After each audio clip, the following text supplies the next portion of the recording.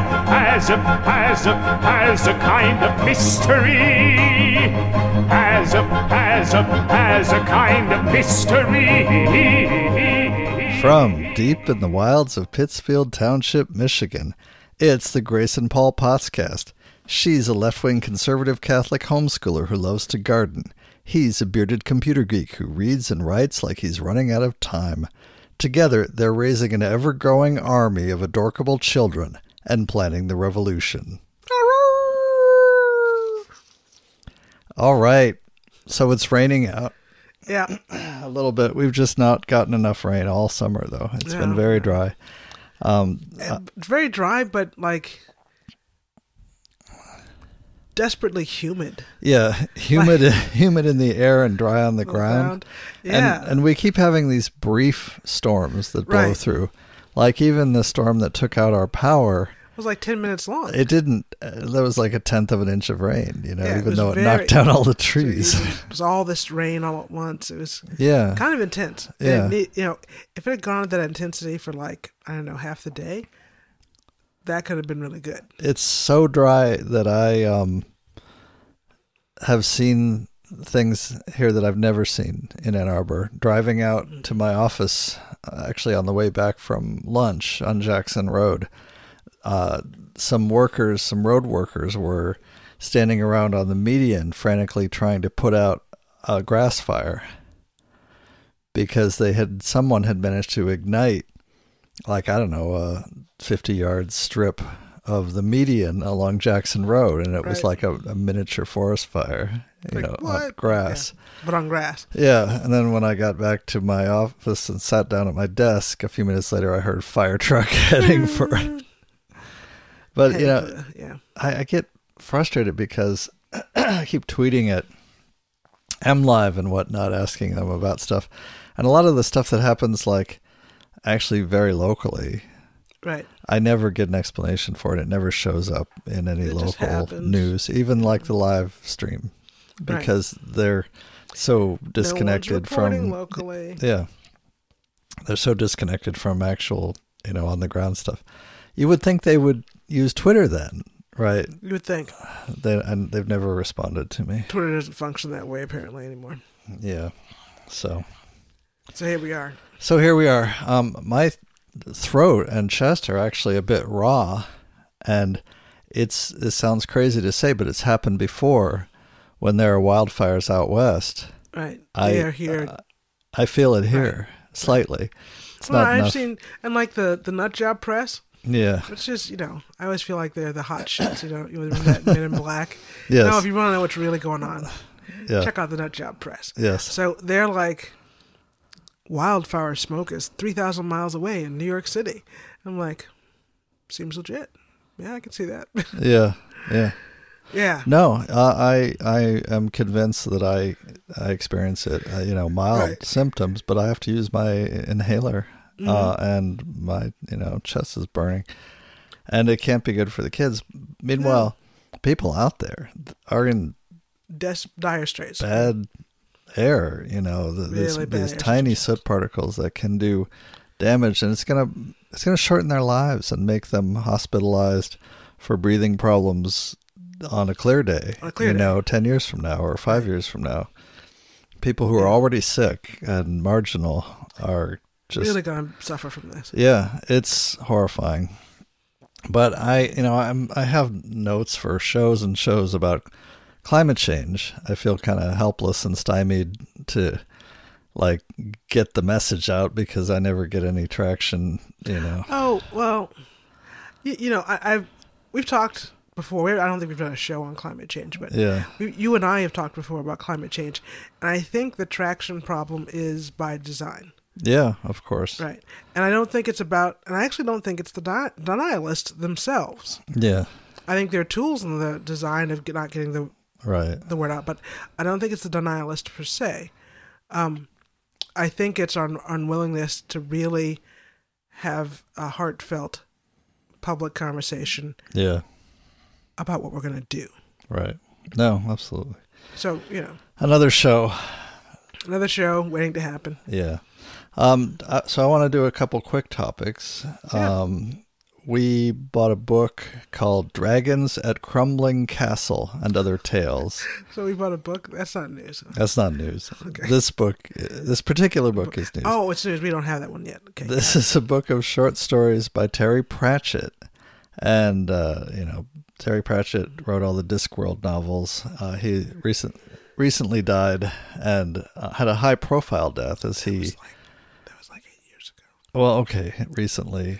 Like like less than fifty years. Less than 50. he he had a high profile death because he had early onset Alzheimer's, and he wasn't Yeah. really that old. he really was not. Um, but um, he yeah he died of Alzheimer's, and it was uh, he was an advocate for assisted suicide and things like that. Although uh, from what I hear, he didn't actually wind up Killing taking himself. that option. I don't I don't know. Anyway, he he was a beloved author. I really enjoy some of his work, and what we have in this collection are stories that he actually published in a small town newspaper Yeah. when he was a teenager. Yes. So he'd been writing a long time. He'd been writing a long time. Yeah. And uh, so I um, quick review. Um, it's fun. It does read like some work written by an energetic and imaginative young and inexperienced writer. Right. You know, so uh, it's very funny at the sentence level. Uh, he didn't really structure the stories so that they build up to strong plot points hmm right it, i think you know he probably just wrote it as he went you know and there are a lot of funny puns and funny uh, bits of dialogue and funny gags and funny references it's funny at the scene level but it doesn't build up jokes that take like pages to land right Oh, right. it doesn't really they don't really build up a story arc that take pages to get there and then really are satisfying in that way No. Not- it kind of goes where, at least the one we read, it kind of goes Yeah. where you thought it was going to go. yeah you know, and a silly ending right. so the the style of humor is more on the silly side. Um, the kids enjoyed it, but I will comment and say that um, when I gave them the option the other night of reading more stories out of this book or reading Orwell, Like unanimously wanted to warm up. they voted for Down and Out in Paris and London instead of these Pratchett stories, which I think is funny because you're always telling me you've got to read the kids more children's stuff, Well, I'm talking about the, the JV team, the younger kids. the younger kids. Yeah. Yeah. The older kids have a, a more nuanced Yeah. reading palette and, Yeah. and are ready to, especially things like Orwell with all this body language and Right. naughty scenes and things that they you know aren't supposed to know about. Well, that's that's what they find fascinating. I think about Orwell is that like it's a glimpse into a dark adult world, you Yes. know, of poverty. Right. Right. Right. So that's fascinating. And in a way that Oliver Twist just is not engaging them. Right. Oliver Twist. The, there's a real language barrier. Right. And Yeah. but like the three younger kids, even Eleanor will engage with a story that's appropriate for her age level. Yeah, that's so El- yeah, so 18 months old has no problem engaging in story time for, you know, a while. Mm-hmm. But it, Orwell's not going to do it for her yeah, or Benjamin and to some extent Pippin. yeah. Whereas the the you know, But Pippin have- voted for Orwell. Like, Yeah, he did. Well, no, they all love the the body, uh, dark adult world. they also like it when I attempt to do accents Oh, the and all characters. the Russian accents and the French accents and the characters. Yeah. they really enjoy that too. Yeah. But but yeah, no, I, I think a lot of the stories we are, we're trying to read, even for Pippin at 7 hmm i- it's it's a stretch for him to stay Yeah. engaged. Yeah. Stay engaged, and um, they could engage with one of the many hundreds of very good children's stories that we have. Well, we okay. We need to get more into a routine where we actually have enough time to read a JV story and then a varsity story. Yeah, yeah. So, uh, but we are usually. So it took so for time. long to get through the cleanup chores, and we had to argue and debate, you know, for so long right? that there's no time left for all this. Time left. Oh, oh Yeah. well. So, So yeah, it's hard, but I, it's it's. I think it's the JV kids who miss out, yeah, right? Who just develop a, an antagonism to story time when they just they're just supposed to sit sit still while we talk to each other. I suppose. Yeah, yeah. and I don't think that's entirely fair. All right. Well, I have been reading Benjamin like um, Curious George stories and Oh, yeah. Stain Bear stories. Like when he's he he'll select a story and bring it. yeah, if he does that and we have time, I'll read that to him. Yeah, yeah. All right. And now for something very different. Oh. Um, I have not written. This is from my blog. I have not written uh, in a long time about a lot of music that I listen to. Oh, yeah, yeah, yeah. uh, in part because I haven't really been listening to anything new recently. Right. But um, I have uh, I've had this CD of music from the opera Nixon in China. A few years ago, I bought a bundle of CDs of used classical CDs from a, uh used record shop in Saginaw. And it was it's quite a bundle. There was 75 discs in there, Yeah. roughly. Uh, one or two were unplayable because of age, but Right. most of them are fine. Most of them were just fine. Yeah. Yeah, and um, so I've been listening to this finally. I had listened to it briefly before, but not really gotten into it. Mm-hmm. But I started listening to it more closely recently. Um, so I'm going to talk a bit about Nixon in China, and I think in the finished uh, show I'm going to in- include some excerpts and use Oh yeah. bits of opening and closing music. Some So of the music is really, really pretty special. it's special. The it's very reminiscent in parts of Philip Glass. In fact, when I first heard it, I was like, "Did Glass actually like collaborate on this directly?" Or what? Because passages of it, especially the use of of um, clarinets playing these repeating figures, these scale figures, uh, really sound like his style. And I guess Adams was just uh, doing like homage to his style homage. Yeah, I guess. in parts of this. Yeah, in parts. Well, I gotta say, I'm not a big fan of Philip Glass. I am a big fan of Phil Glass. I'm not, but I can see how I can see how his work influenced this. Yes.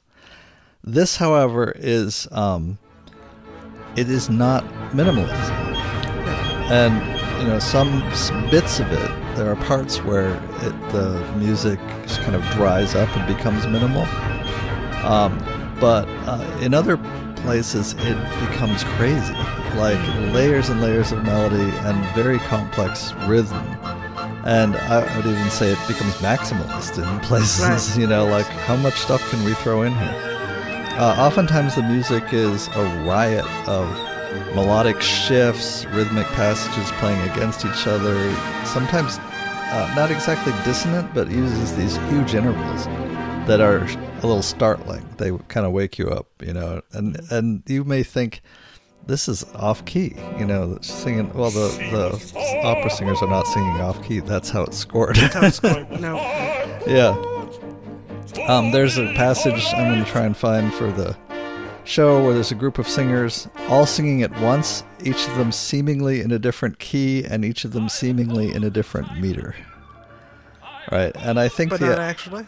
well, it's it's scored that way. I mean, you know, they must have they must have worked very hard to create that sense of chaos, right? Right. Because if you're all singing together, you would tend to fall into each other's meter and, right. and, into rhythm with each other, but to try to stay deliberately in a sen- in a sense of chaos is hard. I can Right. imagine. Um, so technically, this opera is must have been uh, extremely challenging, right, for the singers. It must the rehearsals must have been remarkable.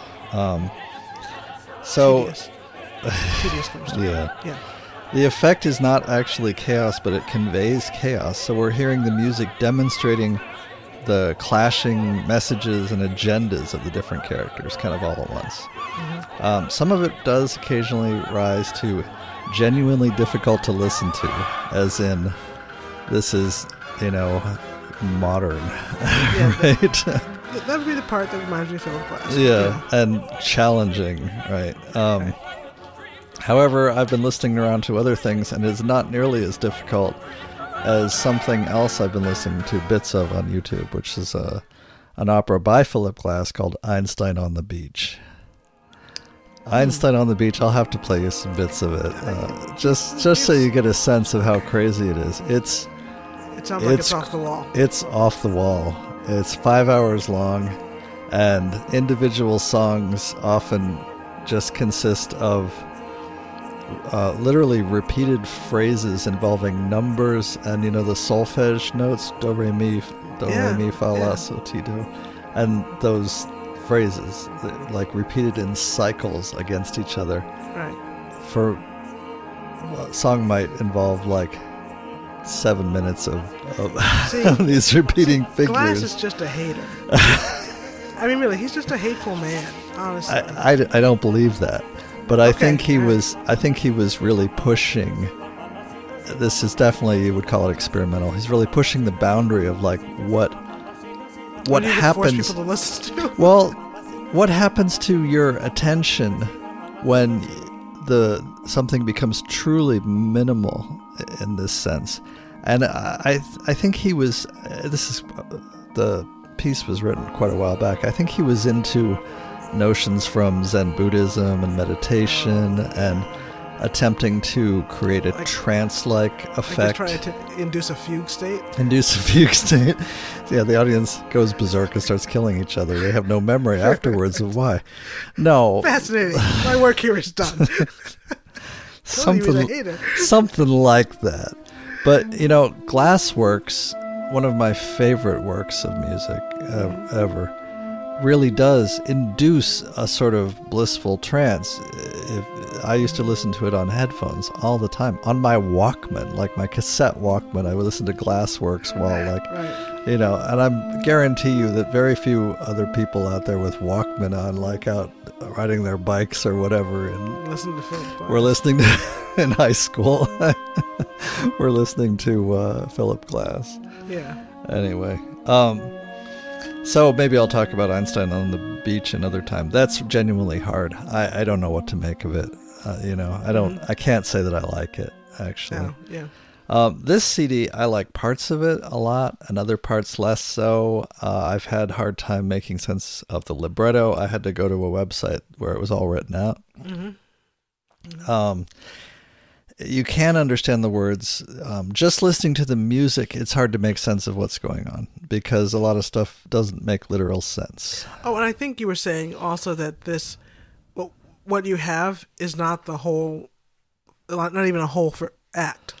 Yeah, so that of, so it's like bits and pieces of one act out of order. I was initially listening to this disc and thinking that it was the opera, and like would get to the end of it, like that didn't make any sense. What the hell was happening? And actually, I only recently discovered that this CD is actually a single CD set of excerpts from the opera, and it's Right. like two thirds of Act One, a couple songs from Act Two, and one song, and nothing at all from Act Three.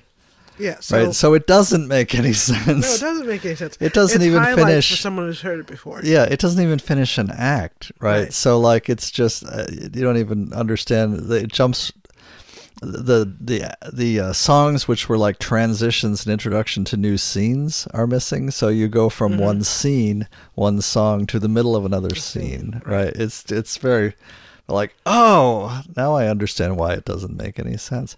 So because I have this iTunes store credit, I just downloaded two complete versions of I like $125 on iTunes store credit. Yeah. No, nothing you want to buy. And I couldn't think of anything I wanted to buy, so but I'm like, oh, I'm listening to to uh anyway, so I downloaded um The whole thing.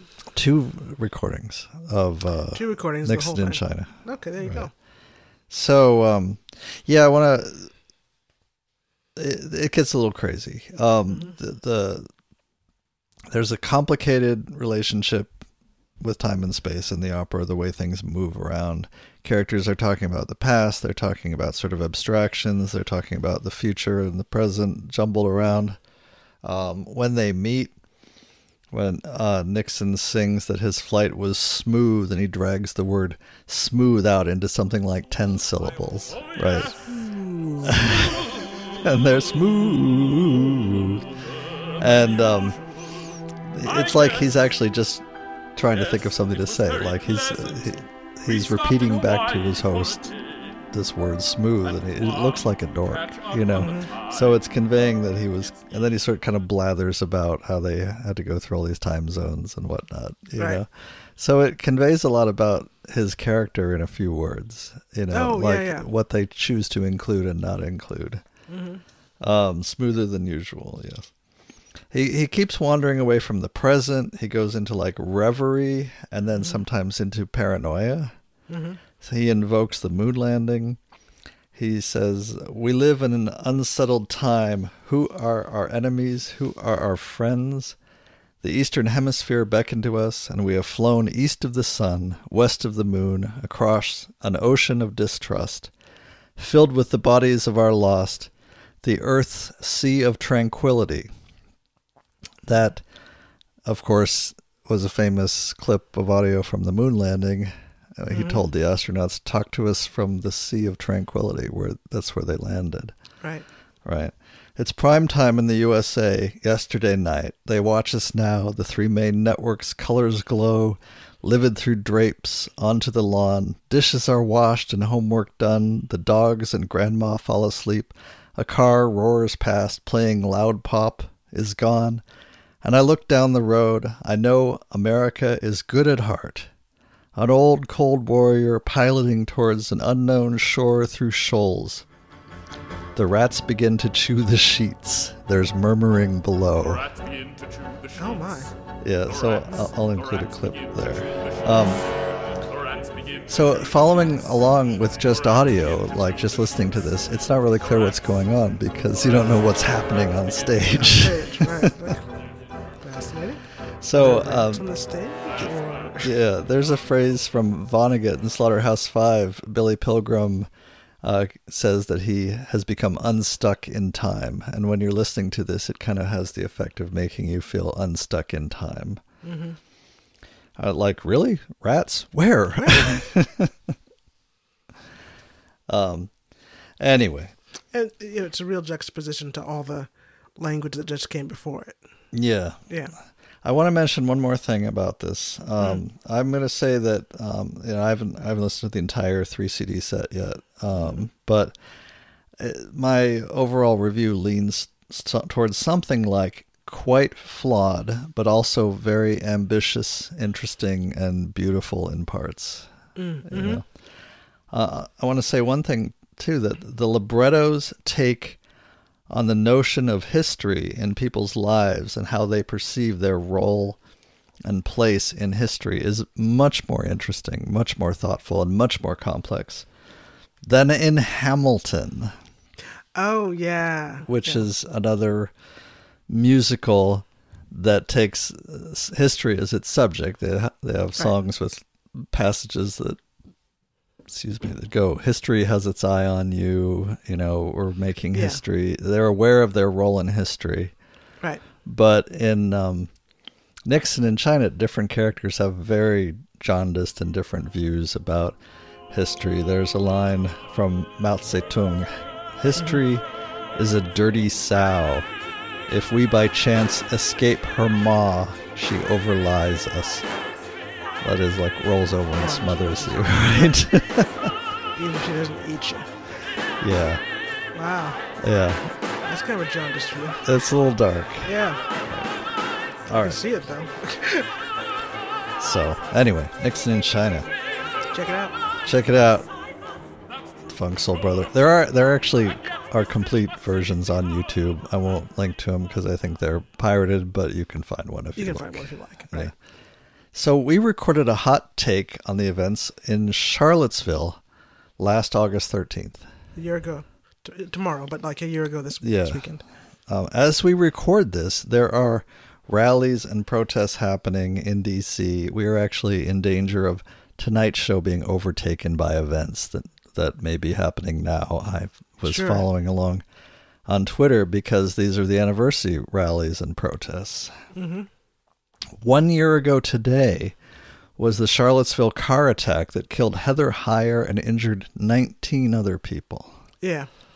That was. People forget about the 19. The 19 other folks that were injured, attacked. And one guy who apparently was attacked by a group of white supremacists and then had charges brought against him. Yeah, I'm gonna I'm gonna mention him. Okay, yeah, because I, had to look up like where things stand because you know the news media is really bad at follow up. Oh, Right. Yeah, yeah. Um, it has to be the hot topic, and it, they don't go back and say where are they now and what's happening. Yeah, no. Not unless they're like, you know, child stars. Right. So the the attacker, the guy that drove the car into the crowd, um, Yeah. Has not been tried yet, but his hearing is set for for November. A hearing? His court court appearance Okay, but is he going to trial or? trial. Okay, so his trial is set for November. Yeah. Okay, you know, hearings usually. I'm never sorry. Sorry. Uh, I'm not a lawyer. Um, his murder charge was initially uh, a second degree murder charge. It's been up, updated, upgraded to a first degree murder charge based on additional footage, like uh, helicopter camera footage right. and uh, like additional camera footage. Um, a number of counts of aggravated malicious wounding and malicious wounding. And he's been charged with 28 counts of federal hate crimes. Whoa, twenty-eight. So, Dang.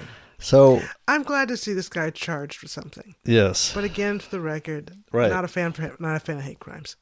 It's effectively a thought crime. But carry on. I don't think it's really going to matter if he's convicted. I think it's just going to make his sentence from the rest of his life in prison to the rest of his life in prison, prison. plus, you know, more years. Or whatever. Although, you know, We'll see. it'll be interesting to see what, what his uh, sentencing looks like. Yeah, we'll see. We don't have to wait that much longer to see Yeah. that happen. There also was uh, a guy, DeAndre Harris, Yeah. uh, who was beaten by six men on camera. One of them has been convicted for malicious wounding. Three more are charged and waiting for trial. Okay. So that's happening. But yeah, this is the guy, I'm going to quote from Wikipedia. In a move that surprised both activists and the Charlottesville Police Department, Merlin Gushel, a local magistrate, signed a warrant on October 9, 2017, without the involvement of the Charlottesville police, for the arrest of DeAndre Harris on a felony, felony charge of unlawful wounding. The charge was later downgraded to a misdemeanor assault charge. So, there's that. This was the guy who had a spinal injury, lacerations to the head. He was beaten with a metal pipe and Yeah. wooden boards, you know. yeah. Uh, the charge arose from the claim of Harold Crews, the state chairman of the White Supremacist League of the South, that Harris had been at, that Harris had attacked him. Um, white supremacists portrayed the incident of Harris getting beaten as an act of self-defense for a purported attack on the white supremacists who actually committed the beating of Harris. So, it sounds a lot like stop stop hitting my fist with your jaw you know Like you see, my my fist is my knuckles are all bloody. stop resisting arrest right Uh, if you would Stop just stop yourself. resisting Stop hitting yourself. What? so it's a little more complicated than that um, Crews was actually trying to spear another black counter protester corey long with a pole of a confederate flag which prompted harris to strike him with his flashlight right Oh, Harris was defending another guy. There's footage of this footage where they were it. trying to stab him with a flagpole with a It's, Confederate flag on it. How horrible and symbolic is that? Yeah. Yeah.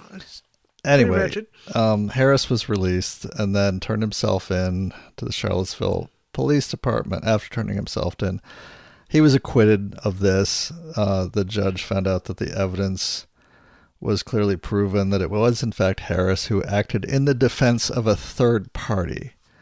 Right. And the defense of a third party is a form Of self-defense. It's considered a form of self-defense law. It is Right. a defense, right? Right. You saw someone attacking another person, and you stepped in between to defend the person being attacked. Yeah, and That's Har- Harris, without previously formed intent, struck Crews with a flashlight when Crews attacked Harris's friend, Right. and that was considered legitimate use of defense. Right, yeah. right. So you know, So- one of those things. Anyway, but the, so the fallout from this is still happening. The fallout Oh, from yeah. Charlottesville, a rally today remembering Heather Heyer, Mm-hmm. and um, there are people traveling to these events, and there's Right. this dispute over whether uh, white supremacists were going to get like a private train car, whether they're going to get special coddling and defense by the police and the course they are. authorities in order to, to be able to, uh, you know, go to their protests Unscathed. Without unscathed Dangerous protesters without those them, dangerous counter protesters. attacking them. So I want to talk about no platforming and fascism and Antifa. Well, that's yeah, that's today. I think right. That's our That's our topic. that's the meat of our topic today. Right. Uh, the the title of the show is remembering Heather Heyer, but I think we can say without the risk Irony or risk. Right. without the risk of sounding too ludicrous or ironic that I want to talk about this, these things in memory of Heather Heyer. So Yeah. Yeah. who died fighting fascism. Right on. So, Mark Bray from Teen Vogue. This is actually from an article about Antifa, Mm-hmm. but we'll get to Bray and Antifa a little bit in a bit. But, But but yeah, this let's is Teen Vogue. he was asked in an interview, and there's a link in the show notes. What is no platforming, and why does the Antifa movement partake in it? Mm-hmm. He said, No platforming is preventing white supremacists and neo Nazi groups from having a platform to organize and promote their politics. The reasoning behind why anti fascists argue that these groups should be deprived of a platform is that they look to the historical examples of fascist and white supremacist groups growing and point out quite accurately that the way they grow is by becoming normalized Yes. by establishing Normal themselves in communities, building relationships in workplaces, in the cultural milieu. So, if you want to prevent these groups from taking even the first step toward normalizing their politics, you deprive them of a platform to even take that first step. Yes. So, we're not going to talk right now about whether we think this is a good thing or not, but that's part That's of the subject. That's the idea. We're right. talking about what it is and why. Mm-hmm. Anti fascists argue that white supremacy is not simply a difference of opinion. No, no, it's a, it's a different paradigm. Politics that aim to deprive people of their humanity should not be treated as differing opinions, but as threats to society that need to be stopped. Right. Some of the most high profile examples of no platform politics recently in the U.S. have to do with shutting down far right speakers like Milo Yiannopoulos. Mm-hmm. The argument that anti fascist and anti racist student groups put forward is that if we really want to promote free and open discourse on campuses and in society, then allowing the promotion of white supremacist, transphobic, or anti immigrant sentiment promotes the dehumanization of significant numbers of people and actually is antithetical to building the kind of diverse, free, and open discourse that we all want. Mm-hmm. Moreover, these kinds of events often serve as points of rec- recruitment for far right groups Oh yeah. That's why they, Absolutely. that's why they're having them. and help to embolden and mobilize students and community members who carry out their violence later on. Right. So, Yeah, and you may have seen it online. Like the um, there's a meme like the paradox of tolerance. yeah, that's uh, I've got actually a quote from that Yeah, that that you know to stick in the end of be the tolerated if you're going to have a tolerant society. Um, so uh, actually, I, I've got a quote from Popper to to read a little Okay. a little later Yeah. on. But um, I wanted to talk about a couple of these recent examples of contested speech Mm-hmm. and this issue of how they can be tolerated and whether. And again, I'm not claiming to come up with absolutely definitive answers in all these, but I want to Oh, give right, our, no. our takes. Our takes, sure. First up, First up, I got two articles, again linked in the show notes, about Sarah Jeong. okay. Yep. She is a Korean American um, hired by the New York Times. Yep. And when she was hired, conservative, quote, researchers, unquote, yeah, I mean, you, you, they call themselves that, and you see people on Twitter, thank you for your amazing research. Research. When someone has done, or, and journalism, they say, thank you for your amazing journalism. When someone has just sat at a computer and done a search on someone's Twitter timeline, right? Yeah. Yeah. and then just taking screenshots. Like, okay, th- That- that's that was a thing, but you know. yeah, you, did did, something. you did something, but um, you know, journalism used to mean going out and talking to people. For example. Anyway, so this is in defense of Sarah Jeong by Zach Beauchamp. This is from Mm-hmm. Vox. Sorry about the source. I'm not really a huge fan of Vox, but Oh uh, yeah, I'm grown. I've grown sour on Vice myself. but, uh, Vice. yeah. Maybe I'm confusing the two. Yeah, I- you may be confusing Vox and Vice. Vice can go to hell, but All right. carry on. Conservatives are up in arms over the New York Times' latest hire, a tech writer named Sarah Jeong, whom they allege to be racist against white people. So I'm not going to read all of this, but um, they have dug up old tweets containing statements like "white men are bullshit" and "Oh man, it's kind of sick how much joy I get out of being cruel to old white men." See, That's you're, you're laughing.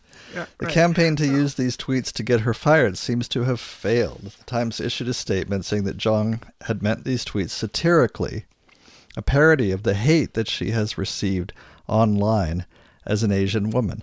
Right. Now, they also said she regrets using this tactic and uh, you know doesn't plan to use something like you know she sees now that this was divisive, This was and divisive and has regret you know hurtful or whatnot. And I think that was bullshit. That's bullshit. But carry on. Yeah. they need to they need to defend their their people if they're gonna keep them on. I mean, actually defend them. Right. they either defend them whole you know wholeheartedly, Or don't hire them or or Right. fire them. You know, right. but don't But, like yeah. be mealy mouthed about it and says, "Oh, she says she's very sorry and she will never do it again." It Because bad. actually, I admire what she did. Uh, yeah, yeah. Well, and and let's be very clear, the the, the conservatives responding here have fallen into what I frequently describe as a trap. yeah, Racism is systemic. yeah, Bigotry is personal. yeah. I don't think we should have a problem with bigotry. Everyone's got some kind of bigotry. I don't. I also I don't believe that any of the conservative um, commentators and writers who have are spreading garbage about this topic are actually operating in good faith. None of them Oh, were confused. None of them believe that this woman t- writing tweets is really what they say, you know, and had nothing to do with her treatment and wasn't part of a different context and a different argument online. But Oh, right. I'll right. get to that. So, Sure. National Review's David French, New York Magazine's Andrew Sullivan. I'm not even gonna say that much. Uh, Sullivan says the neo Marxist analysis of society, in which we were all mere appendages of various groups of oppressors and oppressed, and in which the oppressed definitionally cannot be at fault, is now the governing philosophy of almost all liberal media. Oh, tell me more, oh bald headed one. oh, come on. You know, I've been saying that Andrew Sullivan just needs to go home for a while now, but Can we get him deported? well, to where? Uh, isn't he from the UK? Oh, yeah, yeah. He, is he from the UK? I- I've been having confused with someone else. I think he I is. think he's from the, okay. Carry on. Anyway, uh, no, liberal media is not neo-Marxist. Just as an aside. so the writer also, uh, anyway, I was I'm skipping ahead a, a bit, um, because uh, the writer says. Um, I have a lot of respect for Andrew. He gave me my first job in journalism. Okay, you know, make that your lead, Lead. and then say, by the way, I'm unable to finish this article because I, I have too much personal bias, right? For example. Yeah. Anyway, skipping ahead. The basic, he does finish it and he does make his points, right? Uh, the basic thrust of both Sullivan and French's argument is that if you sub the only any group other than white people for what that substituted in mm-hmm. any group other than white people for what Jeong wrote, then it would be obviously offensive. Hmm. Cancel black people probably wouldn't fly at the New York Times, would it? Sullivan asks Just asking. rhetorically. And okay, the only reason lefties aren't offended by this obvious race based hatred, the argument goes, is that they see the world entirely through the lens of power. Since whites as a class have it, minorities by definition cannot harbor racist attitudes toward them. Okay. Well, I actually think that's true. That- yeah, that's true. in that it's true in this sense. There's this statement attributed to Margaret Atwood, I think, about Mm-hmm. how women, or men are afraid women will laugh at them. Women are afraid men will kill them. Right. Right. That those things are different. There is no writer at the New York Times or conservative National Review or, or whatever Right. that actually has anything to fear from this woman. No. And they know that. they know that absolutely. No. No white. No white man. Right. They know that. Mm-hmm. Yeah. It's that's not a missing piece of information. No. But it really, it just comes back to what I like to point out. Yes. That's absolutely true. Racism only works one way from the pre- from the people with power to the people towards the people with no power. Yeah. It punches down.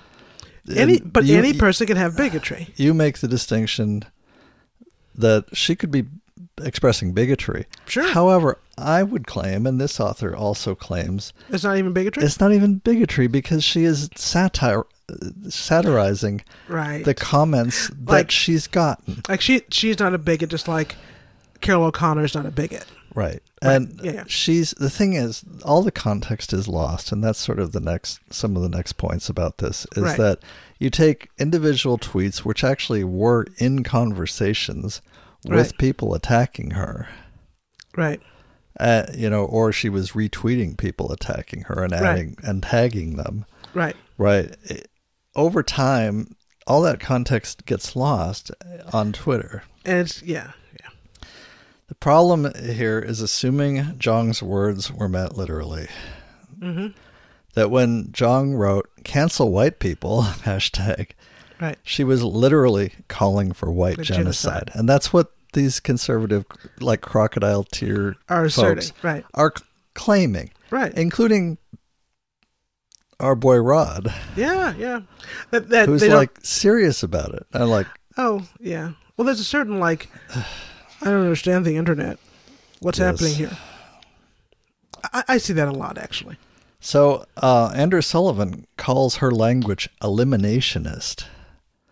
Hmm. We use that term to refer to people who are literally talking about eliminating people and yeah. and who may have influence towards so. getting it done. Right, right. Well, people who are literally advocating genocide. Yes. Right, and I think it's a stretch to suggest that she was literally advocating genocide. so You you cannot read her tweets in context. and reach that conclusion. Yeah. So okay, I, I haven't read any of the tweets. I believe you. Yeah, eliminist language in the way it's used by scholars of genocide and racial oppression is used as justification for concrete actions. The Holocaust, the Rwandan genocide, the very idea that Sarah Jeong's tweets reveal her desire to set up concentration camps for whites is laughable. It's unlikely that she, she, she doesn't even dislike white people. Yeah, no. She dislikes harassment, you know. Right. Anyway.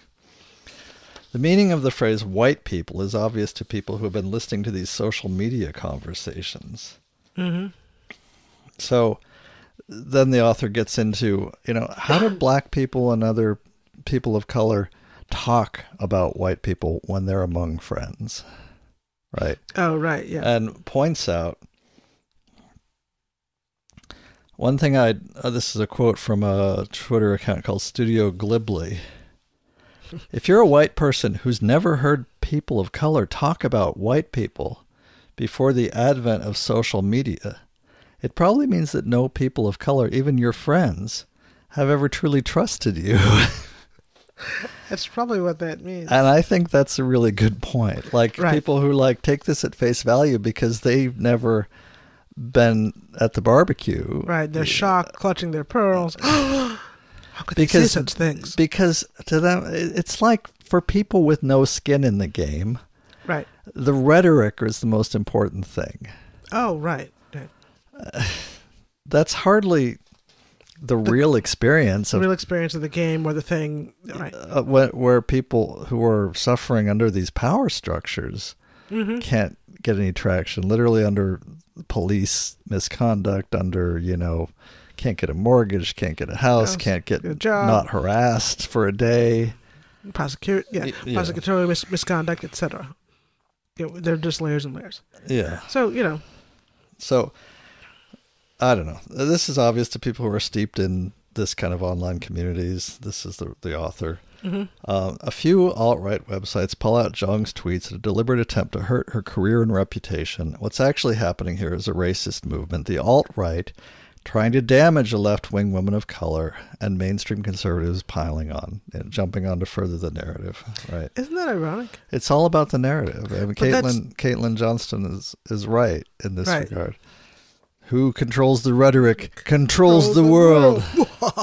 well, no, but I, I just want to note the irony. Yeah. They're they're using racism to call her bigotry racist. You noticed that, huh? Isn't that weird? Yeah. That's weird. Yeah. Okay, carry on. All right. I'm going to skip ahead because uh, we're not going to talk about um, how this. Sullivan has posted uh, debating the question of whether blacks are genetically less intelligent than whites. And, Yeah, we're not going to discuss that All that race science bullshit. Um, because yeah, yeah. but he still has a job. Okay, He still has a job. So anyway, so that's that's this article, Zach Beauchamp. Mm-hmm. Next one. next. More Vox. More Vox. Yeah, The problem with Twitter, as shown by the Sarah Jeong fracas, right. Ezra Klein. Oh, he's all right. All right. Yeah, he's a liberal.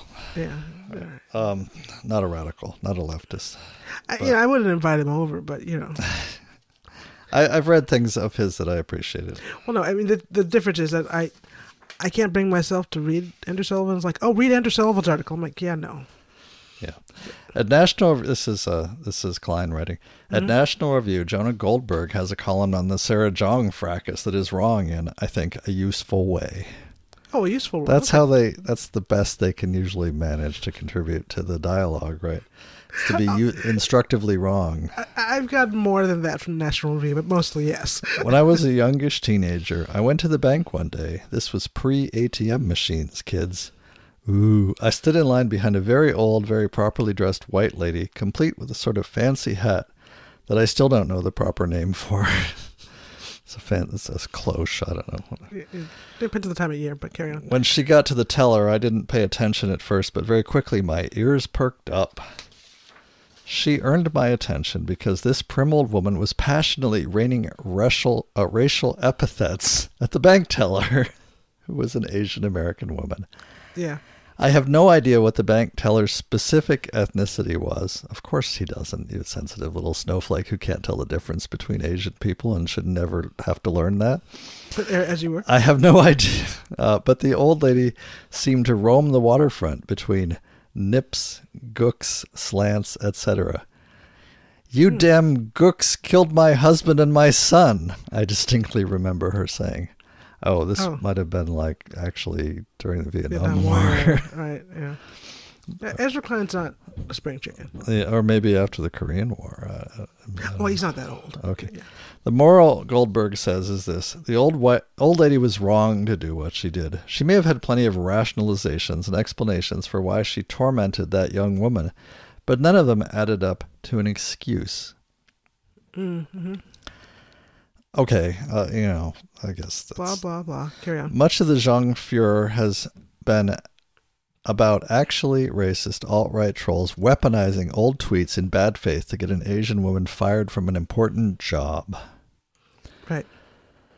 Goldberg's piece traces another fault line in the Jeong debate, one that I see people of good faith struggling with, even days after the initial frenzy. Are Jeong's tweets the equivalent of Goldberg's old woman yelling racial slurs at a bank teller? That is to say, are they an actual expression of animus toward real people? Or are the critics making that argument engaged in an absurd form of literalism, refusing to recognize ironic discourse, even though it's been repeatedly pointed out to them? Or just recognizing context. I mean, really, just, just recognizing that, you know, this is the funniest page, not an editorial, and not the front page. Right.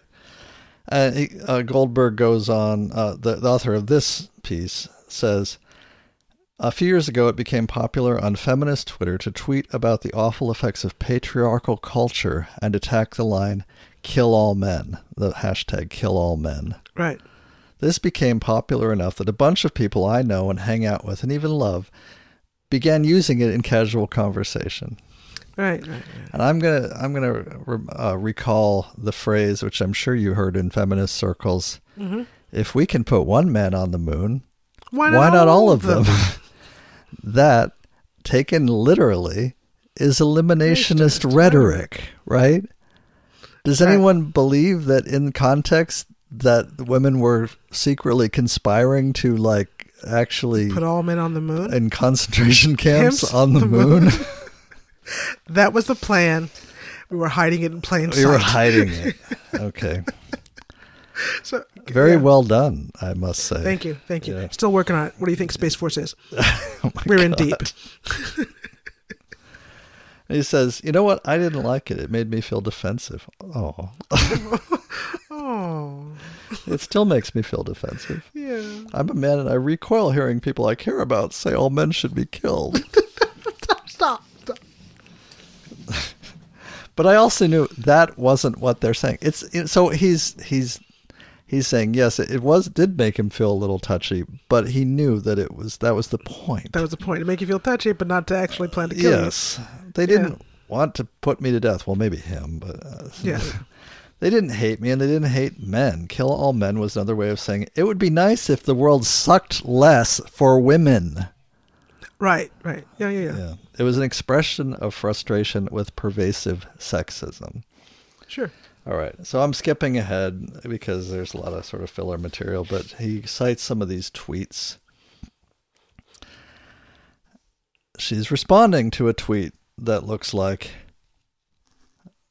If I saw you, Sarah Jeong, if I saw you, I would sock you right in your lesbian face. Sarah Jeong, shut the fuck up, you dog eating gook. Right. Right. Um, that's the kind of tweet that she was responding Me to. Right. And that's the kind of tweet, her responses are the kind of answers that people find when they search her timeline. Right. And oftentimes the originals are long gone because people have been banned or deleted their accounts or Etc. or blocked people or block their accounts or And it's interesting. You know, this is just interesting to me. That no one seemed to think it was like I don't know, inappropriate to attack her in this to way. attack her. like to attack her in this way. Right. Like to say those things to her. Right.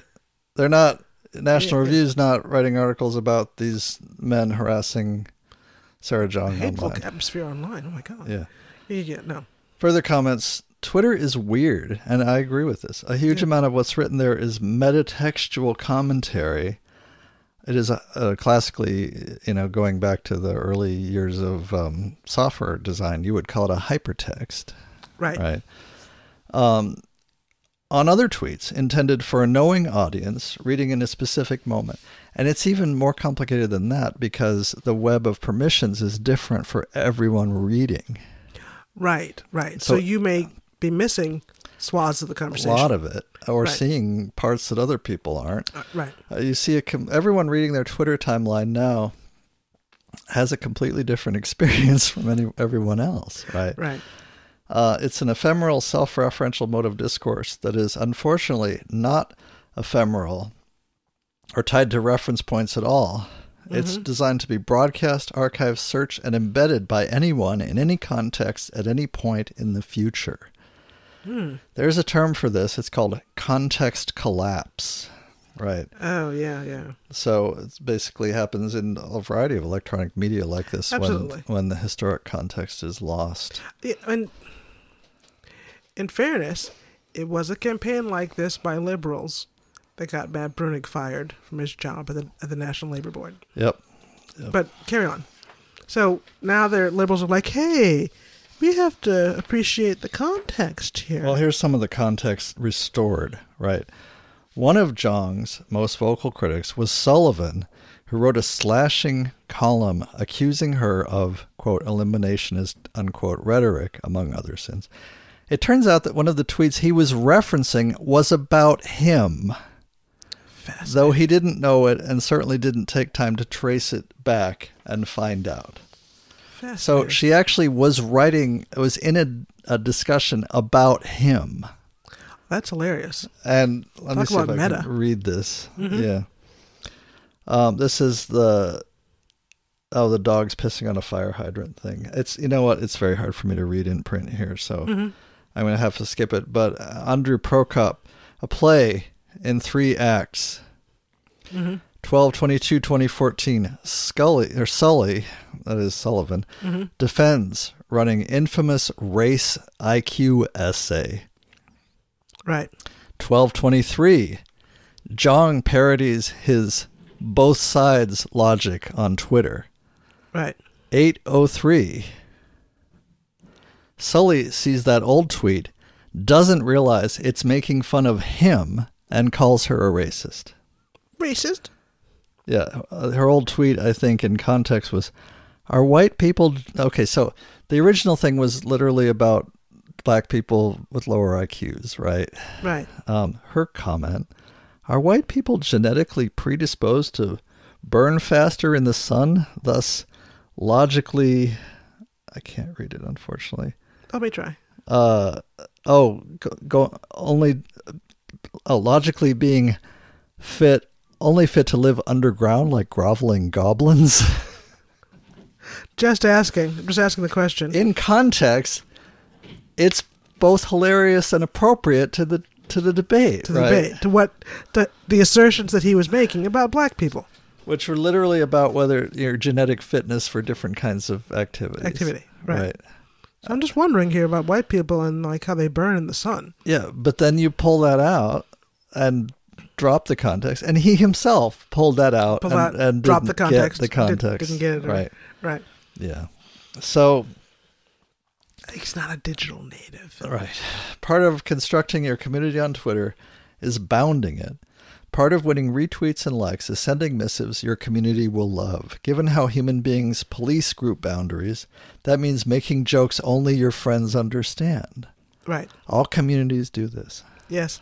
In jokes are part of what makes communities. Oh yeah. Yeah.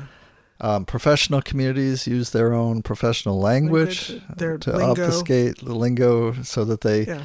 recognize and talk to each other, make it Jargonizing, yeah. jargonizing.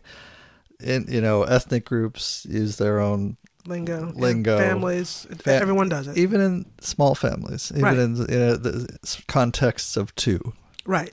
You got your in People jokes. have in jokes and pet phrases and whatnot that don't make sense literally. They make no little sense and will be Yeah. confusing to anyone outside. Yeah. Twitter is a medium that rewards us for a snark, for sick burns, for edgy jokes, and cruel comments that deepen the grooves of our group. It's designed to make the sickest of those burns and the worst of those jokes go viral. Yes. Those two things are profoundly at odds, right?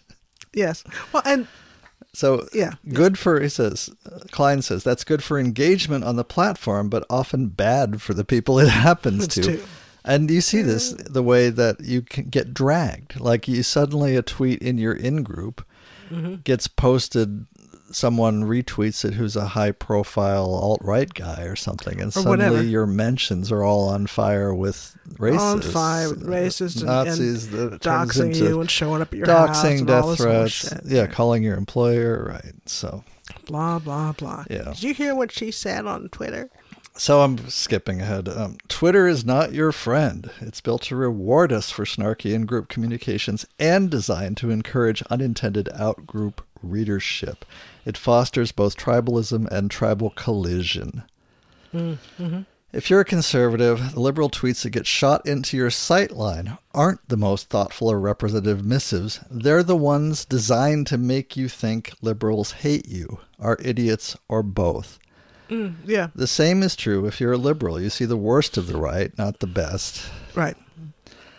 Correct. After you've seen enough of these kinds of comments from one side, you start to think that's who they are, and that you're getting a true picture of what your opponents really are up to, like talking about, etc. Right. All right. Not a true picture. It's a distortion built to deepen your attachment to your friends, your resentment of your opponents, and your engagement on the platform. It's one that plays on our tendencies to read the other side with much less generosity than we read our own side. Right. Right. Okay. So I thought that, that was a good comment. So that's the affair Jeong. Hmm. And like h- Here- how here's how it- Oh, Here- yeah, here's how it plays out. Oh, okay, yeah, yeah, okay. That's what I was waiting for. National Review. Oh, Gray lady dons white hood god damn! by G. Roy Murdoch. Subtitle Apparently, it isn't racist to be racist if it's against the right race. Hmm. Notice how right race sounds just like white race, right? Um, Interesting that. it's official. These are the United States of double standards. Oh, For the latest proof, look no further than the controversy embroiling Twitter and America's disgraced so called paper of record. Yeah, actually, I agree with that, right? They are Right, disgraced and they are a so called Well, paper, of record, but not for this. not for this reason. Yeah. Conservative activist Candace Owens of Turning Point USA was banned, albeit briefly, from Twitter on Sunday. Her sin? She critiqued a number of breathtakingly racist Twitter comments from Sarah Jeong, the Grey Lady's recently hired editorial page writer. Wait, wait. Who's the gray lady? The New York Times. The gray lady is the New York Times. Got yeah. it. Okay, all right. Yeah. I thought they were referring to Sarah Jeong as the gray lady. No. I'm sorry. Sorry. No, it's like, you know, from a distance, newspapers look gray. Oh, yeah. the, the, yeah. pa- the paper No, is I, gray. I get it now, but I thought they were referring to her at first. Go, carry, carry on.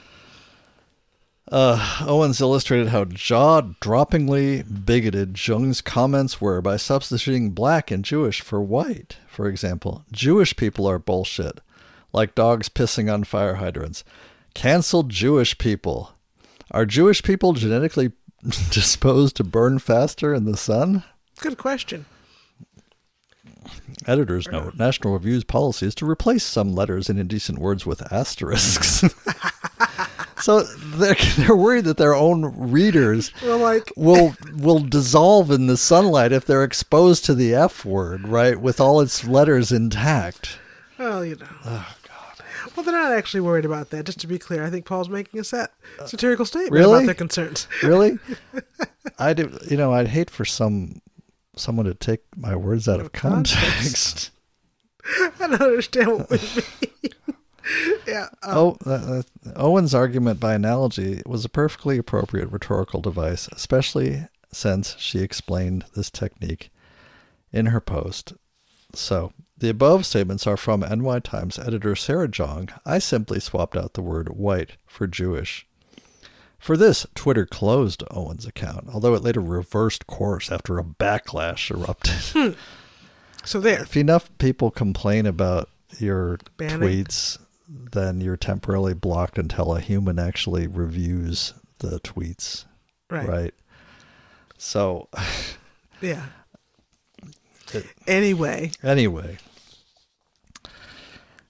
I'm not going to read all the tweets. please don't. Um, skip- I mean, just skipping taken out of ahead. So, she, yeah. so skipping ahead, let's just say that the author of this piece just recites them all, right, Right. with no context. Recites all the tweets with no context and exclamation points. Yeah, Oh, oh, oh my God. yeah. Right. It is inconceivable that the Eighth Avenue font of left wing orthodoxy would hire anyone who wrote Kill More Women. And yet Jeong declared via Twitter in 2014, Kill More Men. In 2015, she sped beyond mere misandry and actually advocated anti male gendercide. Kill all the men. Oh my. If you are reading this, white male, Jeong has you in her Crosshairs. crosshairs. you can practically, you can finish the sentences, right? They're so predictable.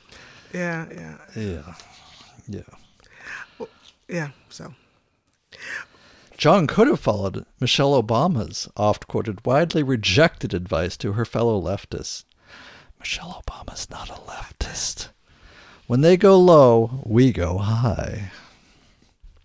Well, that's fine for Michelle Obama. right? I think that's just fine for her. She can she can do that. Jeong could Go have right ahead. rejected the racist cracks lobbed at her and slammed by name the bigots behind them. Uh, maybe she should have doxed them. They would have loved that, right? Well, that could have been good. Yeah. yeah, this would have exposed these creeps and served them their richly deserved opprobrium. Yeah, because white racists are so terrified of being called out For by an Asian racist. woman on Twitter. For being a white racist. Yeah. Uh, yeah. Okay. Anyway, instead of handling things, I'm skipping ahead. Uh, Zhang repeatedly condemned an entire race just for the color of their skin. Oh oh my God. This is the dictionary definition of Jim Crow era racial prejudice. Actually, it's not. No, it's not. But How's let- it not? Okay, so Jim Crow era Yes, racism yes. was actually codifying a law. That was structural racism. That was structural racism. Yeah, that you know, institutional, legally you structural, can't enter legal. this. It's like the way people get confused about the First Amendment. right. Okay, Right. when the law says you can't enter the front door of this building because of the color of your skin, Right. that is structural racism. Right.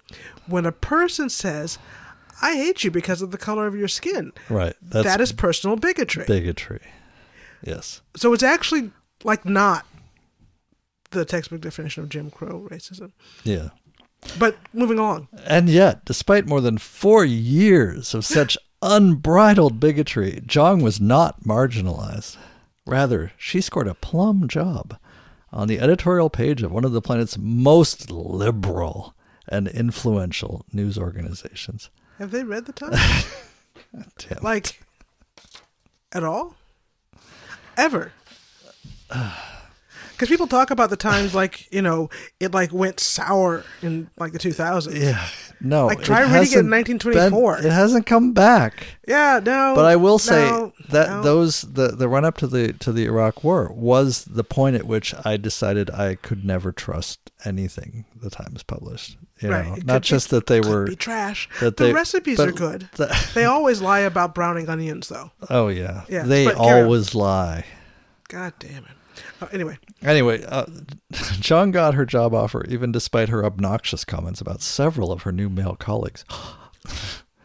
David Brooks is an absolute nitwit too. She called Oh, David, David Brooks Brooks a nitwit. well, have you read his column? I'm just Oh asking. No, Let's yeah. not forget this lightly veiled death wish. A just God would not allow Tom Friedman to keep talking. Charles Bronson in Death Wish, Wish 5. Friedman's going down. Let us pray. Oh my God. Yeah. Uh, carry on. All right, all right. I, I, I'm trying to figure out how to how to come to the end of this, but um, it just keeps going. It just well, keeps it, going. it seems like this bottom well of faux outrage. Yes. Yeah. And, And- it- then they go. They start talking about Roseanne Barr. Blah blah blah. Oh, ABC canceled her hit series. What an injustice, right? Yeah. There yeah. are two. Okay. uh, Here's the conclusion. There are two morals to this story. First, the left run relies on double standards, the way cars run on gasoline. Okay. Second, racism is now totally cool with American liberals, as long as the bigotry is anti-white. Well, no, I, I think it's true that racism is totally cool with American liberals. I think that's actually a fact. They- However, you know, if you define, I was just arguing with one of my relatives on Facebook, and you know how Oh, I, God. I know how I just like say all the time, I'm just not going to be on Facebook. I'll, I'll, I'll show up, I'll post some pictures of my kids, and then I'll just ghost it for another Just go, week. yeah. Right? That's Right. it. That's all I want to do because I get in these pointless arguments. yeah, And so I made a comment, and of course, immediately I'm on a po- I'm in a pointless argument. right. It's about how yeah, I've seen Confederate. Uh, one of my f- friends saw a Confederate flag in a truck in Eatonville, Washington. He's like, I thought we were done with this here in Eatonville. Like, come on, if like Dude, if dude. liberal Ann Arbor, Michigan, I can see Confederate flags. So, uh, just saying, You know, I, I don't know why you would think you know rural Eatonville would be immune somehow. immune. Anyway, so No, it's it's deeply absurd. I don't, I got nothing for it. yeah. And so, like, okay, I, I- now I've got to ask. So, what was the what was the meat of the argument here? Oh, I said liberals are fine with racism and Oh, white fine. supremacism. It's like, well, not in my experience. All liberals I know are deeply offended by these things, and you know, I don't, I don't want to out my my relative, and get Right, into sure, this. sure. But I was saying, well, it's unless you mean something different. I say, well, I probably do mean something different than what Yeah. you're talking about. You should listen to our podcast. Listen to our podcast. We'll explain Because, it in detail. you know, excruciating if three you- hour detail. yeah, if you literally define um, racism as just yelling the N word at people, then no, of course not. Liberals would never do that. Never do anything like that. But uh, you know, how about you know? Well, just because the, you know, it's not racist.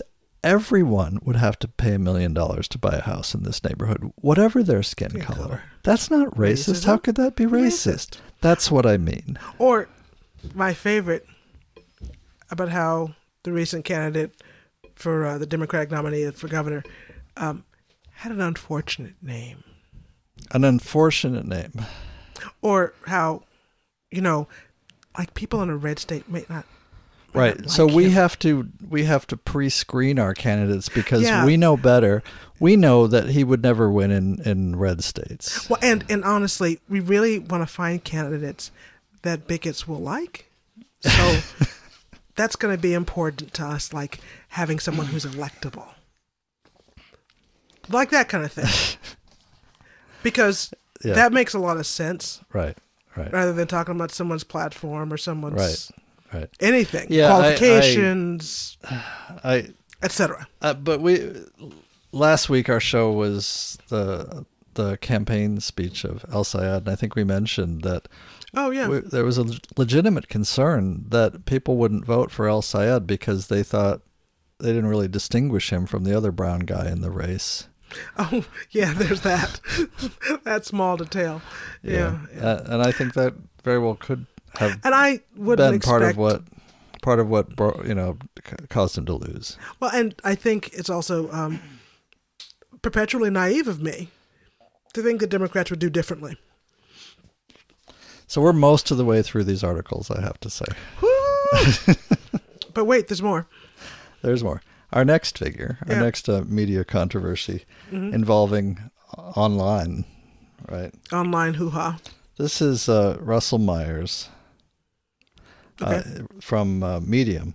The title of this article is Alex Jones, Hero of the Left? Hmm. And so this encapsulates, encapsulates, enca- Encapsulates. blah, blah, blah, capillary action. No, disin, disin, encapsulate. Sorry, I just had a stroke. I smell toast. Encapsulates. encapsulates a lot of what I've been hearing on Twitter because of this situation with uh, Alex Jones, Yeah. uh, Infowars, and how he's getting thrown off of, Facebook, Twitter, Facebook, Twitter. YouTube, blah, blah. blah. and some some liberals are aghast, right? Shocked. But a lot of leftists are saying, you know, I'm fine with this, and here's Wait. why you should be too. Wait, leftists or liberals? Leftists are fine with it. Liberals are aghast, Okay, tell me and we'll, we'll, we'll get we'll get into that. Okay. Many people are reading this, are too young, have forgotten, or merely paid no attention to the actual court case of the People versus Larry Flynt. Right. Let me recap. Larry Flynt was a vile person. Well, yes, he was a pornographer. Yeah, yeah. Any pornographer is, but carry I used to read Hustler, by the way.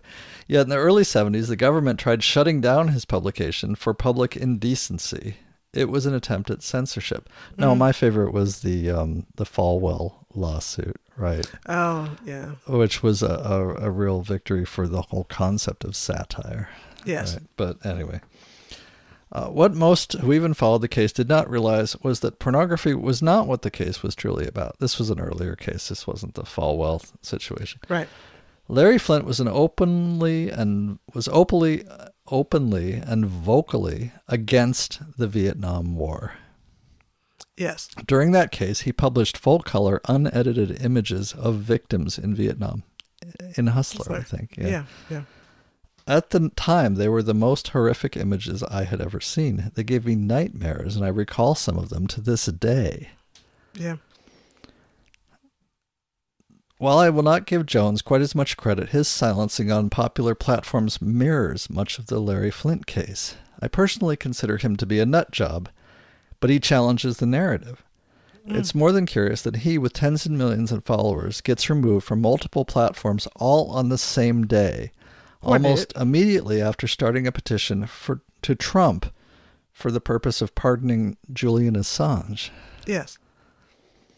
This attempt to remove Jones from the public view will backfire epically. It already has. Before Monday, how many on the left had given him a single thought in Martyred months? him. Martyred him. Yeah. Yep. Even if you did, it was because of some limited article. you know. Some something, right? Or he was uh, about a lot of jokes with like his oh, topless Oh, yeah. pictures about his nutritional supplement ads and stuff like that, yeah. right? Yeah.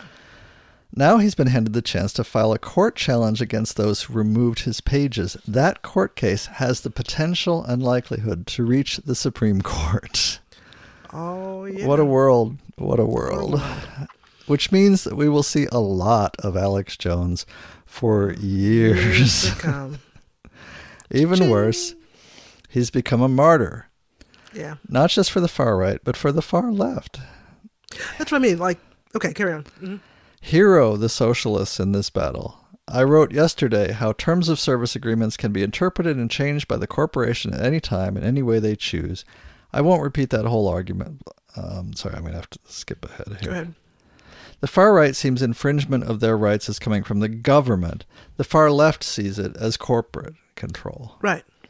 I see it as both. Yeah. Carry on. So, so it will be the ultimate irony if Alex Jones, the figure, not the person, becomes the one who winds up uniting all of us in some ways. Some- the man right. who supports oppression of many parts of our society may pave the way for people standing together and fighting for our freedom in very real terms. Yes.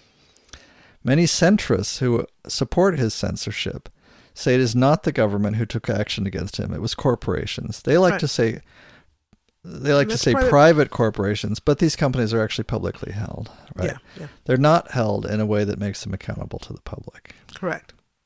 In addition, there are laws in place which limit the amount of data the government can collect. There is no limit as to how much money they can buy or require corporations to report to them. The Right. NSA, FBI, and CIA work directly, hand in hand, with corporations. We've seen this regarding mass surveillance and information leaked by Snowden. Right. Wait. So so it's liberals who are fine with it and leftists who are upset. Yes. Okay, that's what I was trying to clarify. Yes. earlier. Got it. But it's weird because a lot of the people on Twitter that I follow that are, I think of as quite leftists, Mm-hmm. are not as left as me in this matter. right. In that they're like, they're fine with it on the, the grounds that no one gives a shit.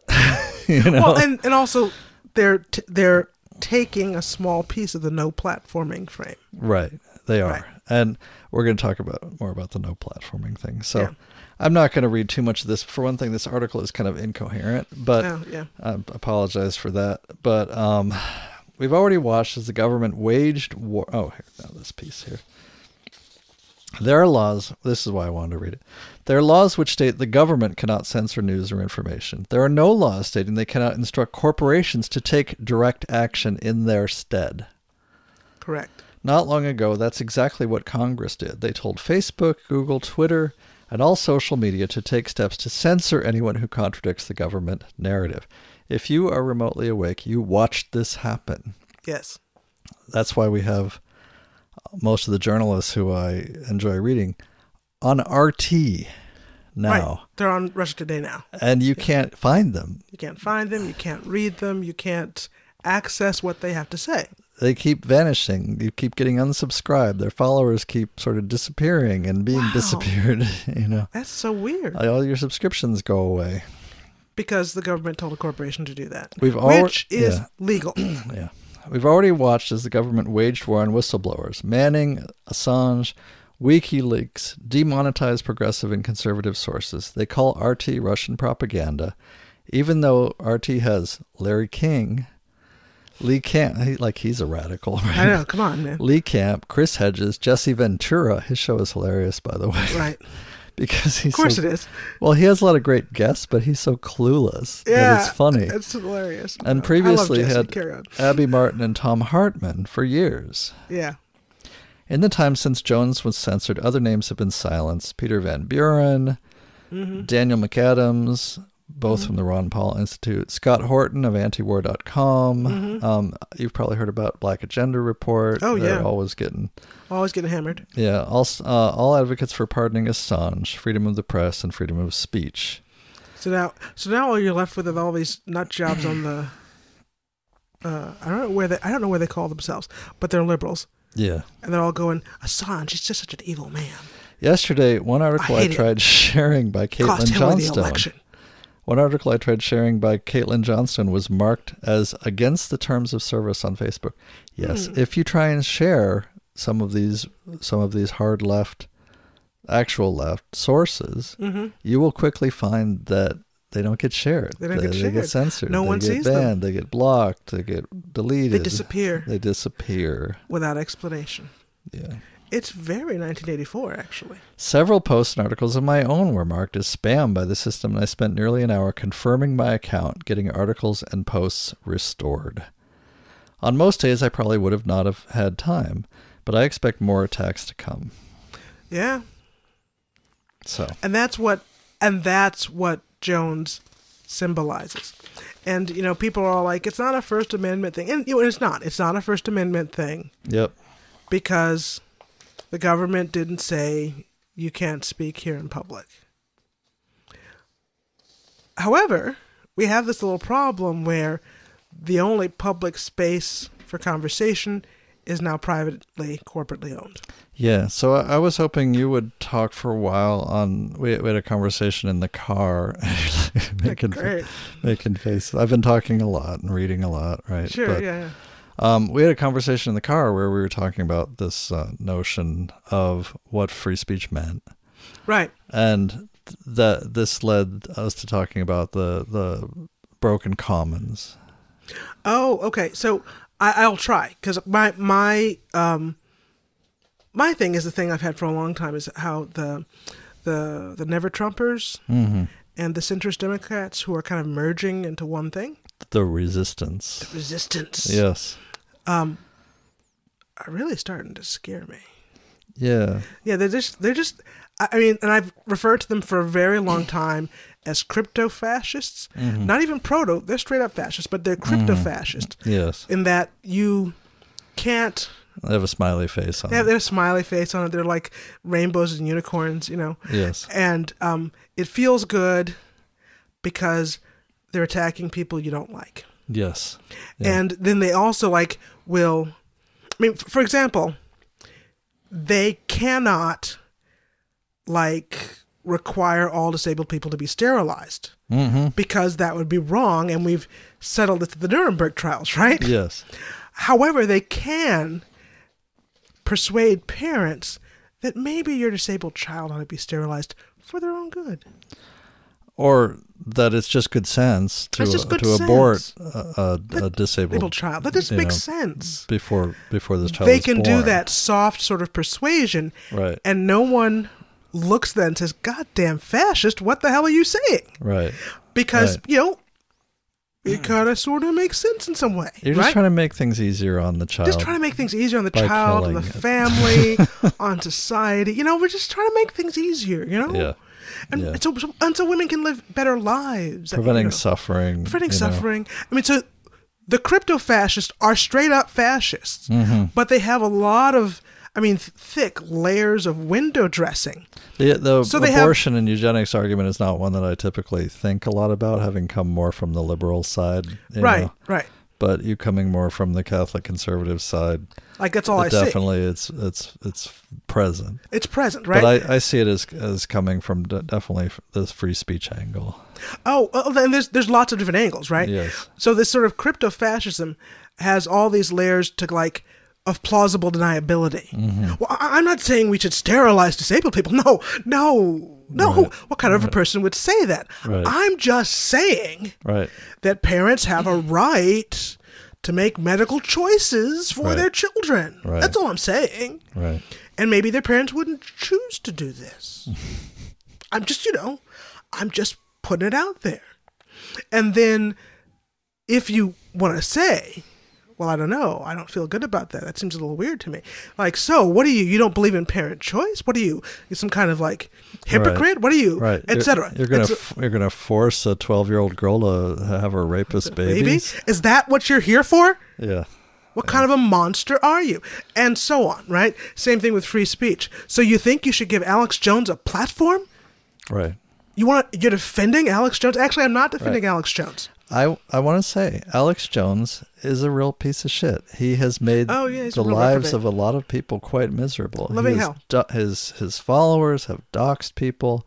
He's uh, pushed this narrative that um, the mass shootings in Sandy Oh, Hook we're staged. were Yeah, yeah. staged. They were crisis actors. They didn't happen. No one was shot, and they have forced the parents of murdered children to Go into hiding. to go into hiding, to have to move repeatedly. Yeah, yeah. It was just it's.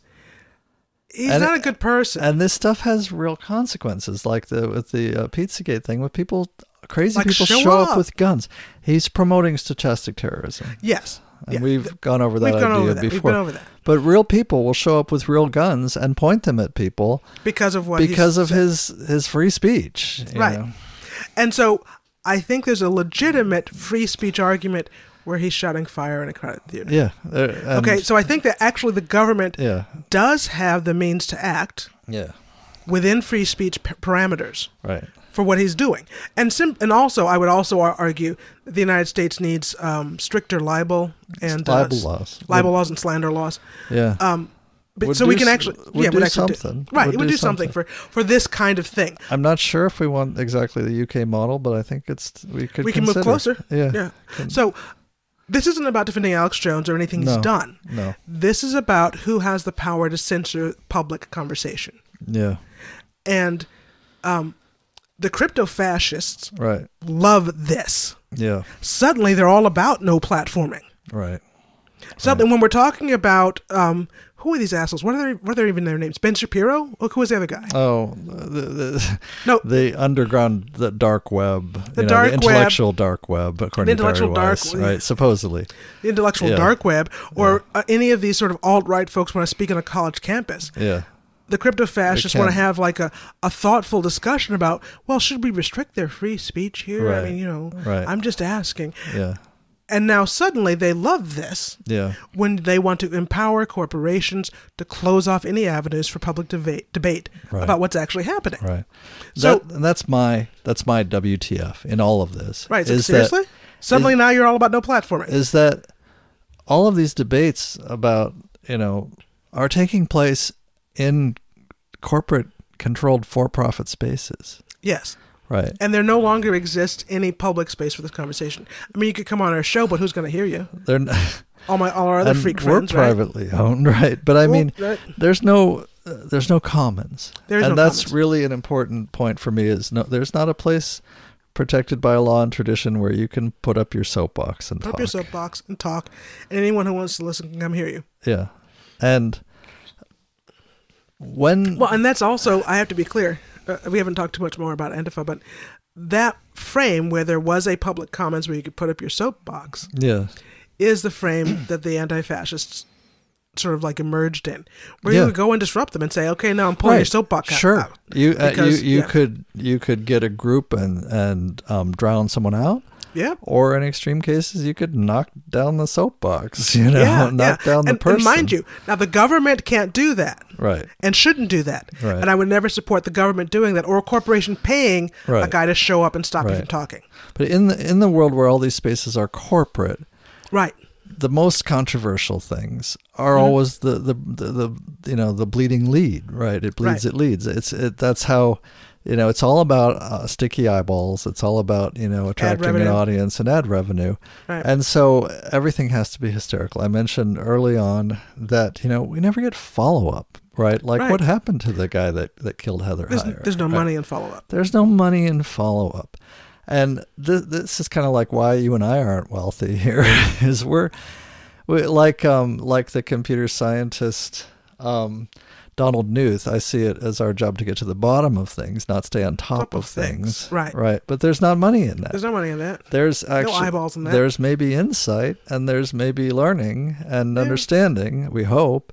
Oh, but yeah. but there's no ad revenue. No, no. Who wants? Yeah, who wants ads for that? And so these platforms, Facebook, Twitter, everything, everything becomes biased and slanted towards the sensational and the controversial, Right.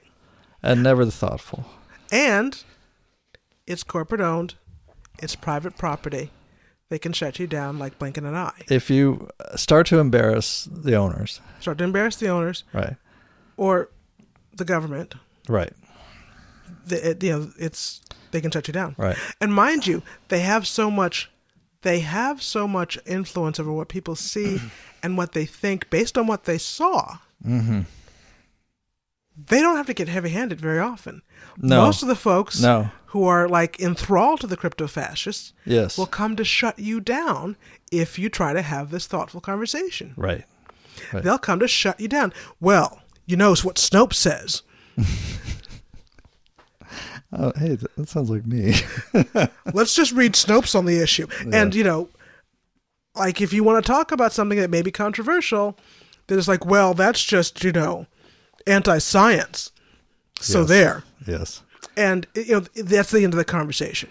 So, really, to me, the the the the end run around this, the fix, Mm-hmm. is restoring something resembling digital commons, and Oh, yeah. what that means exactly, I think that it's a big topic. But like, you know, why don't we nationalize Facebook?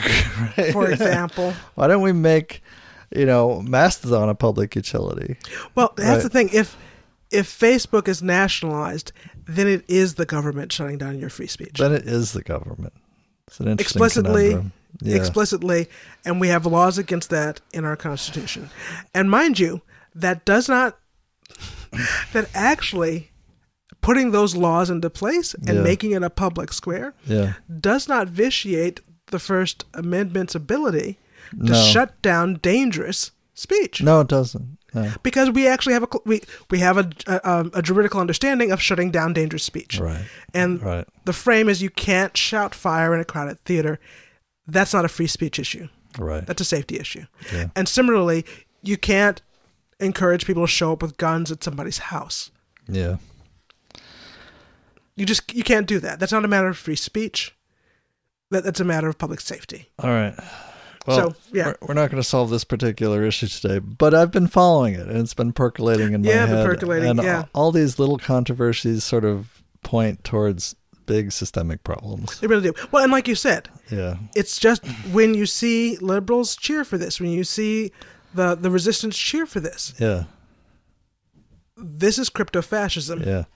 And, and it should frighten you. and you, I don't see people who are hard left full throatedly saying, "No, Jones needs needs and deserves to be on this platform" or whatever, uh, No, and because they don't feel that way. No, no, leftists don't think that he needs and deserves to be on Facebook. Right? They don't feel that way. I mean, as a And- leftist, I strongly feel that there's there's a case to be made yeah. to get him the hell out of here. That isn't a matter of just censoring him. And so there's the yeah there's the safety security argument there's and and it, to be in solidarity with like the fa- the um, Sandy Hook families Yeah, you can't also be defending to the death his right to speak his mind right you know at And so- their expense. yeah and this is where we get into like what bounds these limits of of left and right and and corporate speech and Sure. and part of it is the desire to to be anti-fascist Right. and so I would like you now to read. Oh yes. This is, uh, we have had this book for quite some time, like almost a year, I think. I- I don't yeah. remember when we got it, but we But were yeah, going to read it on the time. podcast. It got buried in the crib under a pile of blankets and stuff and Shh. other books. And um, Why do we have a crib? But carry on. no, the we this was in the crib for our baby to read, Oh yeah, it's a bedtime story. but she hasn't finished it. And I, know. I mean, it's got some She's- teeth marks, but that's true. She she likes a good book, you know. Yeah. Mark Bray, Antifa, and that I believe that's the correct pronunciation. Ant, Antifa. not ant. Antifa, Antifa. because it's taken from uh, Italian. Um, Right. Means anti-fascist. Antifa, the anti-fascist handbook, and we. I was reading the, you this book, parts of it last night as a Yeah. bedtime story, and it it didn't have the effect I hope, which was sort of help you get to sleep. No, In I- fact, I you were bouncing off the walls. I know i was bouncing off the walls. I, I, I like had terrible like dreams of being in purs- you know pursued. pursued. Yeah, yeah. Yeah. Anyway, maybe not the best thing to read right before trying to sleep. yeah, yeah. D- don't. Yeah, you're not bedtime fan. But this is a great book, honestly. It and really. I'm impressed. It's it's fairly dense, but it's not dense in the academic sense of some of the other. it's dense in that there's information in every sentence. There's a lot of information, but You it's it, it it. is targeted towards a, a slightly more um, a, a larger audience who aren't necessarily quite into the academic jargon, Yes. right? And I is correct. appreciate that about it a lot. So I'm Mhm. going to ask you to read two passages. All right. One is um, from the introduction. It's called "What is Anti-Fascism," and of Okay. course it starts by "What is fascism," and right. then How can you not? then there's another part for from chapter five, which is entitled "So much for the tolerant left: No platform and free speech." Yeah. And this skips over most of the book, and we read some more of it, you know. But yeah, yeah. But it's two particularly relevant parts.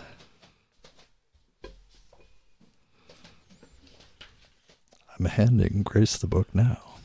Excellent. So And start start at the first marker and go to the like where am I stopping? You're stopping when you get to the second marker. Oh, okay. When I get to, oh here, okay. There's like a three dot. It's like a break in the text there. No, on this page here. on that Oh, I see it. Got it. Okay. on that page. It's a fairly long passage. It's a long passage. It's not the whole chapter. but we're going to go with it. What is anti fascism? Before analyzing anti fascism, we must first briefly examine fascism. More than perhaps any other mode of politics, fascism is notoriously difficult to pin down. The challenge of defining fascism stems from the fact that it began as a charismatic movement, united by an experience of faith, in direct opposition to rationality and the standard constraints of ideological precision. Mussolini explained that his movement did not feel tied to any particular doctrinal form. Quote. Quote, Our myth is the nation, he asserted. Quote, to this myth, to this grandeur, we subordinate all the rest. End quote. As historian Robert Paxton argued, fascists, quote, reject any universal value other than the success of chosen peoples in a Darwinian struggle for primacy, end quote. Even the party platforms that fascists put forward between the world wars were usually twisted or jettisoned entirely when the exigencies of the pursuit of power made those interwar fascists uneasy bedfellows with traditional conservatives. Mm-hmm. Quote, left fascist rhetoric about defending the working class against the capitalist elite was often among the first of their values to be discarded.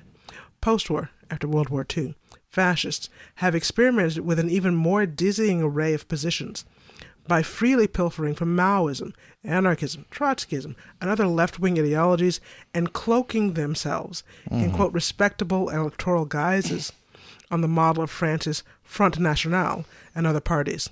I want to I want to comment that people often this is another uh, sort of a side topic, but people on the right often claim that fascism is fundamentally left and that you know the Nazis were leftists, they were socialists because you know it's right there in the name, right? Right, like, you know. Yeah, but actual leftists, as in supporting labor and the working people, that Yeah. element of the National Socialist Party was actually purged early on. Those people were killed. Right, killed. The- Yeah, like the union organizers. The, yeah that, they killed them. Yeah. that side of the of the, the, the left side of, of the National Socialists. yeah, they ate that and, like, discarded it. Yeah, yeah. So Um, and this also gets at kind of what I'm talking about when I, I described it as crypto fascism. hmm Okay. hmm I agree with Angelo Tasca's argument that, quote, to understand fascism, we must rewrite, we must write its history, end quote. Yet, since that history will not be written here, a definition will have to suffice. hmm I, th- I thought this is a pretty good definition. I thought. Right. Paxton defines fascism as a form of political behavior marked by obsessive preoccupation with community decline, humiliation, or victimhood, and by the compensatory cults of unity, energy, and purity, in which a mass based party of committed nationalist militants, working in uneasy but effective collaboration with traditional elites, abandons dem- democratic liberties and pursues with redemptive violence and without ethical or legal constraints goals of internal cleansing and external expansion. So That's a pretty good one. it's a good definition, and you know what it puts me in mind of. What's that? So after Donald Trump's inaugural speech, hmm um, George W. Bush actually was heard to comment, "That was some weird stuff." right? right. because the rhetoric in that speech was so uh, full of extreme imagery. Yeah. Um, he talked about American carnage, right? Yeah. And it doesn't that that the actual text of that inaugural speech doesn't make sense unless you consider it as a fascist manifesto. Right. It, it, In, yeah. Literally in those terms. And that's what always gets to me. Folks like he's just talking in a word salad. I'm like, no, he's no, not. he's not. That's not a word salad. I mean, yeah, he does have malaprops and Well, you and know. uh, but no, it really Yeah. adjust your lens. It's unfocused. But he- That's he, he, not a does, word salad. He does screw up phrases and misspell Oh, yeah, and all that. yeah, yeah. But yes, mostly it right, adjust your lens. He's not talking to you. He's like, yeah, I'm talking to you. And those it's just like when when um, Reagan talked about states' rights in his uh, campaign queens. speeches, right? He wasn't talking to like why was he so obsessed with states' rights? rights. What could that mean?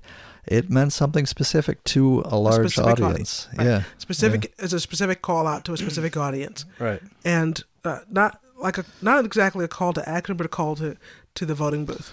It, yeah, it was uh, uh, like a sol- uh, an announcement of solidarity with those people's agendas. Right. Now, when compared to the challenges of defining fascism, getting a handle on anti fascism may seem like an easy task at first glance. After all, literally, it is simply opposition to fascism. Some historians have used this literal minimalist definition to describe as, quote, anti fascist, a wide variety of historical actors, including liberals, conservatives, and others, who combated fascist regimes prior to 1945. Yet the reduction of the term to a mere negation obscures an understanding of anti fascism as a method of politics, a locus of individual and group, identif- group self identification, and a transnational movement that adapted pre existing socialist, anarchist, and communist currents to a sudden need to react to the fascist menace. menace. Mm-hmm. This political interpretation transcends the flattening dynamics of reducing anti fascism to the simple negation of fascism by highlighting the strategic, cultural, and ideological foundation from which socialists of all stripes have fought back. Yet, even within the left, debates have raged between many socialist and communist parties, anti racist NGOs, and others who have advocated a legalistic pursuit of mm-hmm. anti racist or mm-hmm. anti fascist legislation. This is all still going on. This is all like still at the heart of this like debate over what to do with uh, on these platforms. Oh, right, right. You know, it's all so we're living it. This We're is why this is so this relevant. is all happening right now. Yeah. Um, and those who have defended a confrontational, direct action strategy of disrupting fascist organizing. These two perspectives have not always been mutually exclusive, and some anti fascists have turned to the latter option after the failure, failure of the former. But in general, this strategic debate has divided leftist interpretations of anti fascism. Mm-hmm. This book explores the origins and evolution of a broad anti fascist current that exists at the intersection of pan socialist politics and direct action strategy. This tendency is often called radical anti fascism in France, autonomous anti fascism in Germany, and militant anti fascism in the United States, the UK, and Italy. Among today's Antifa, the shorthand for anti fascist in many languages, at the heart of the anti fascist outlook is a rejection of the classical liberal phrase incorrectly ascribed to Voltaire that I disapprove of what you say, but I will defend to the death your right to say it. So that, that's uh, you know, there's a, it's an explicit rejection of that. Yeah. Yeah. After Auschwitz and They- Treblinka, there are limits of, to free speech. yeah, right. After Auschwitz and Treblinka, anti-fascists committed themselves to fighting to the death the ability of organized Nazis to say anything. Mm-hmm. Thus, anti fascism is an illiberal politics of social revolution, applied to fighting the far right. Literally illiberal, as in you know we don't allow this ingredient in our salad. You know. No, it Yeah. can't be here. Yeah. Nope, no cyanide, thanks. Um, Or melting pot, I guess you might say. well, no, no, well, actually, I've always felt salad was better than melting pot. Yeah. Okay. Many of us don't care to assimilate. yes. Thus, anti fascism is an illiberal politics of social revolution, applied to fighting the far right, not only literal fascists.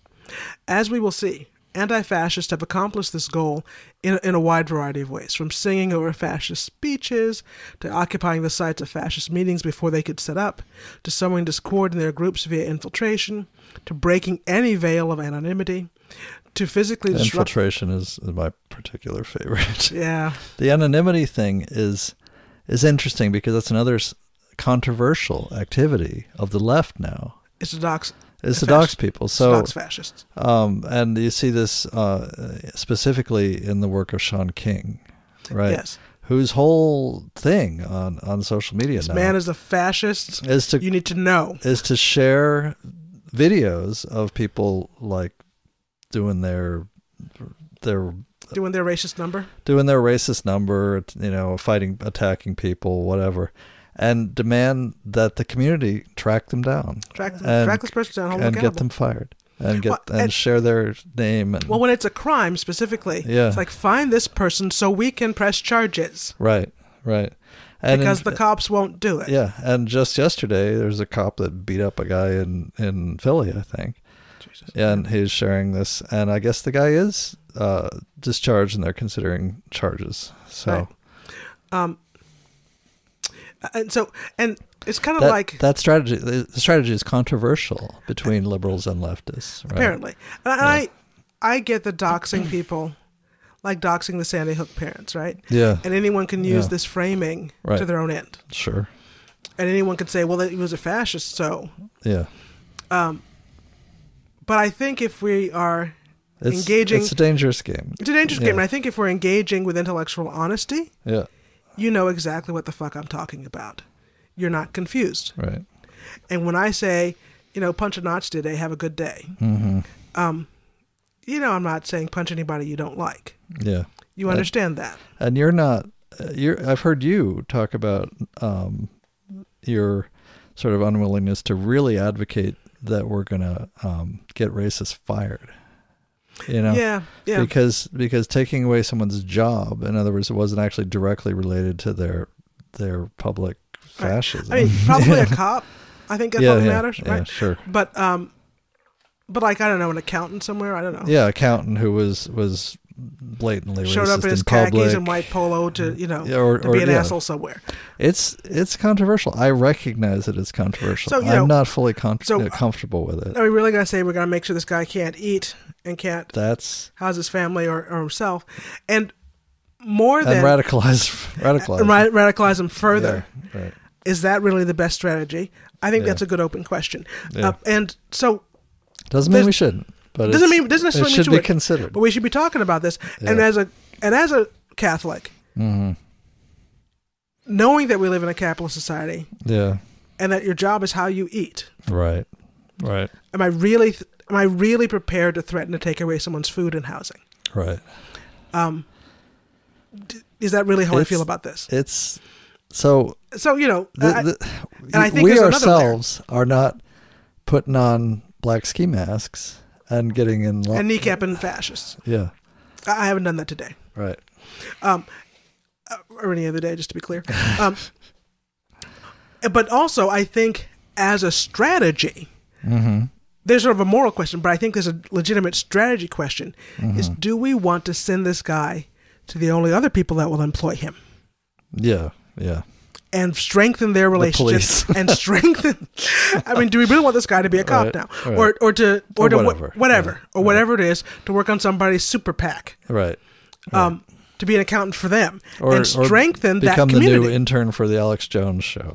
right? Or literally, what was happening on the Mm-hmm. alt right was, you know, like become a special assistant to um, Steve Bannon. To Steve you Bannon. know, or, and then you know, Right. or, get a get a job at Breitbart. You know, to be because this does wind up strengthening some people's voices because they get Right. pulled out and signaled out. For They don't work at IBM anymore, right.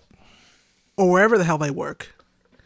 They're sort of anti-radicalized, if you will. Right. Th- Yeah. So I think there's a very legitimate strategy question about do we want to take widespread action that strengthens the fascist community and get connect and further connects them to each other Mm-hmm. and embeds them with each other. Is that really a good idea? Yeah. I'm not convinced that it is. Energize, energize. To them. energize them. Yeah. I, I'm not convinced that it is from a strategy stra- standpoint. Yeah. Okay, that said, uh, sowing discord, uh, infiltration, anonymity, physically disrupting their newspaper sales, demonstrations, and other activities. Militant anti fascists disagree with the pursuit of state bans against extremist politics because of their revolutionary anti state politics, and because such bans are more often used against the left than the right. Yes.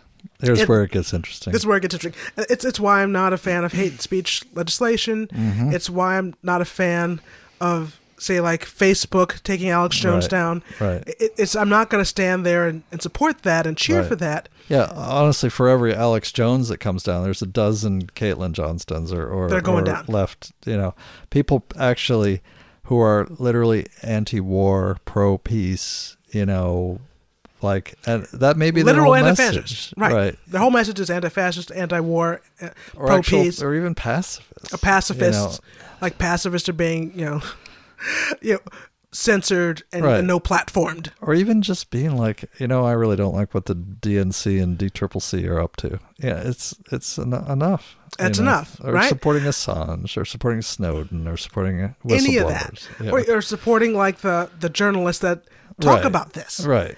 Puts like a you know puts you in the crosshairs as they say right. so that's why i don't think the state needs to do this kind of no platforming the state can't do this kind of no platforming this has to Mm-hmm. They be a certainly community can't do it wisely. no uh, well no it has to be a community decision that that is not welcome here Yeah. right Yeah. because Distributism. ding yes. uh, it's it's you know so it's why i'm not a communist it's why i'm not a Yeah. socialist I, Yeah. I don't want the state making these decisions i want the community to make them Mm-hmm. Um, now, some anti groups are more Marxist, while others are more anarchist or more anti authoritarian. Mm-hmm. In the United States, most have been anarchist or anti authoritarian since the emergence of modern Antifa under the name Anti Racist Action ARA. Yeah. in, yeah, you're in the late 80s. To some extent, the predominance of one faction over the other can be discerned in a group's flag logo, whether the red flag is in front of the black or vice versa, or whether both flags are black. In other cases, one of the two flags can be substituted with the flag of a national liberation movement, or a black fa- flag can be paired with a purple flag to represent feminist Antifa, or mm-hmm. pink flag for queer Antifa, etc. Yeah. So the, the the ones you often see is a, a black and red flag together. and it's it's an anarchist antifa, right? Right. Well, if it's black flag in front, that's those are anarchists. Right. Black is anarchist. Red is communist. Yeah. Um, Despite such differences, the Antifa I interviewed agreed that such ideological differences are usually subsumed in a more general strategic agreement on how to combat the common enemy. Yeah, I hang out with a lot of communists. I, I really, I don't know. I'm not going to derail us too hard, but um, we, uh, I can't d- just define what kind of leftist I am. I, I have sympathies with different groups and different ideologies, but to try and say, oh, I'm exactly this, I'm just not. I haven't figured oh, it out. I like some libertarians, you know. yeah, I haven't figured it out. So, got a lot of so I don't libertarian have a label. Yeah. You know, I, No labels. not them for God's sake. That's a different thing. Different thing altogether. But no, I know that I know where I'm not. I'm not really. A, uh, I'm not really a, a democratic socialist. Yeah. Whether I organize with them or caucus with them is another story. You Right, know, right. all that. Uh, you know, and I'm in solidarity with them, but um, they're too far They're too far to the right. to, for for my for to, for me to feel like I really live there and belong there. Right. And, you know, these are particulars good for conversation. Yeah. But when it comes down to, I think this is a, a little piece that's lost in last year's Charlottesville. Yeah. There Like- there are a lot of lefts and a lot of socialisms. A lot of left and a lot of socialisms.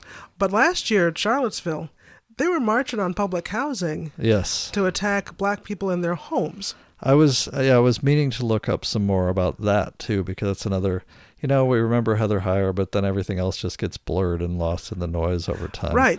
So So yeah, Antifa, they were and, and the there there's I sh- to Wikipedia's credit, they talk about this quite a bit. They talk Mm-hmm. about how how the um like follow on was just how badly the the police actually failed to protect people, right? right, how badly the police failed to protect and serve Yes. the public And- that pays their salaries. Yeah, and that's part of it is they, you know, drove them off campus and they went marching towards a, a low income housing project. Yeah.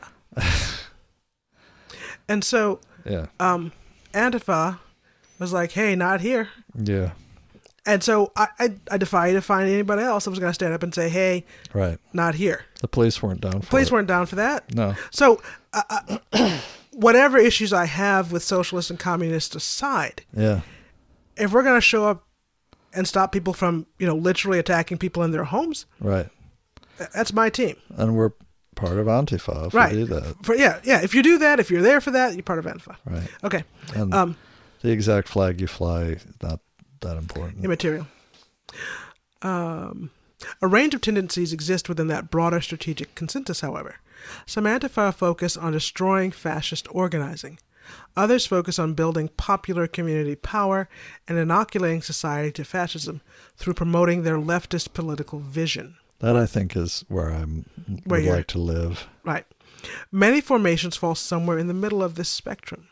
In Germany in the 1990s, a debate emerged in the autonomous anti fascist movement over whether Antifa was mainly a form of self defense, necessitated by attacks from the far right, or holistic politics, often called revolutionary anti fascism, that could form the foundation of the broader revolutionary struggle.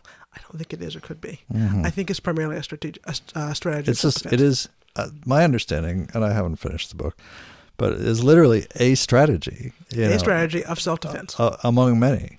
hmm The- and it it's like uh, there's a saying of um, what's his name uh, of King Crimson the band Mm-hmm. um, used to say because King Crimson would disband and reform with a new lineup every few years Right. and um, oh god I wish I could remember this feels so stupid anyway Right.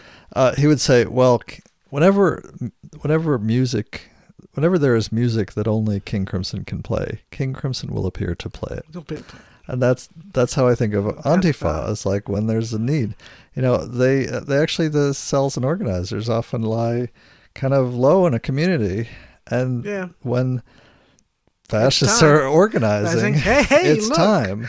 Yes, It it's is- almost like yeah, It is they're literally an immune system. It's You immune know, system it's- They're response. the Right. leukocytes of, of the body politic, right? right that show up Yeah, when something very dangerous yeah. is affecting the body. when the you know it's like your your most basic your sort of low level immune response when no when the authorities aren't doing, Aren't anything, doing when the doctors aren't healing you Right, uh, and so so in that respect, I don't think it can be an organizing ideology.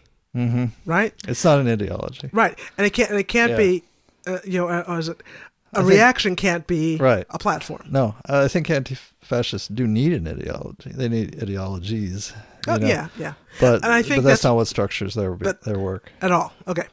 Um, depending on local context and politics, Antifa can variously be described as a kind of ideology, an identity, a tendency or milieu, or an activity of self defense. hmm Despite the various shades of interpretation, Antifa should not be understood as a single issue movement.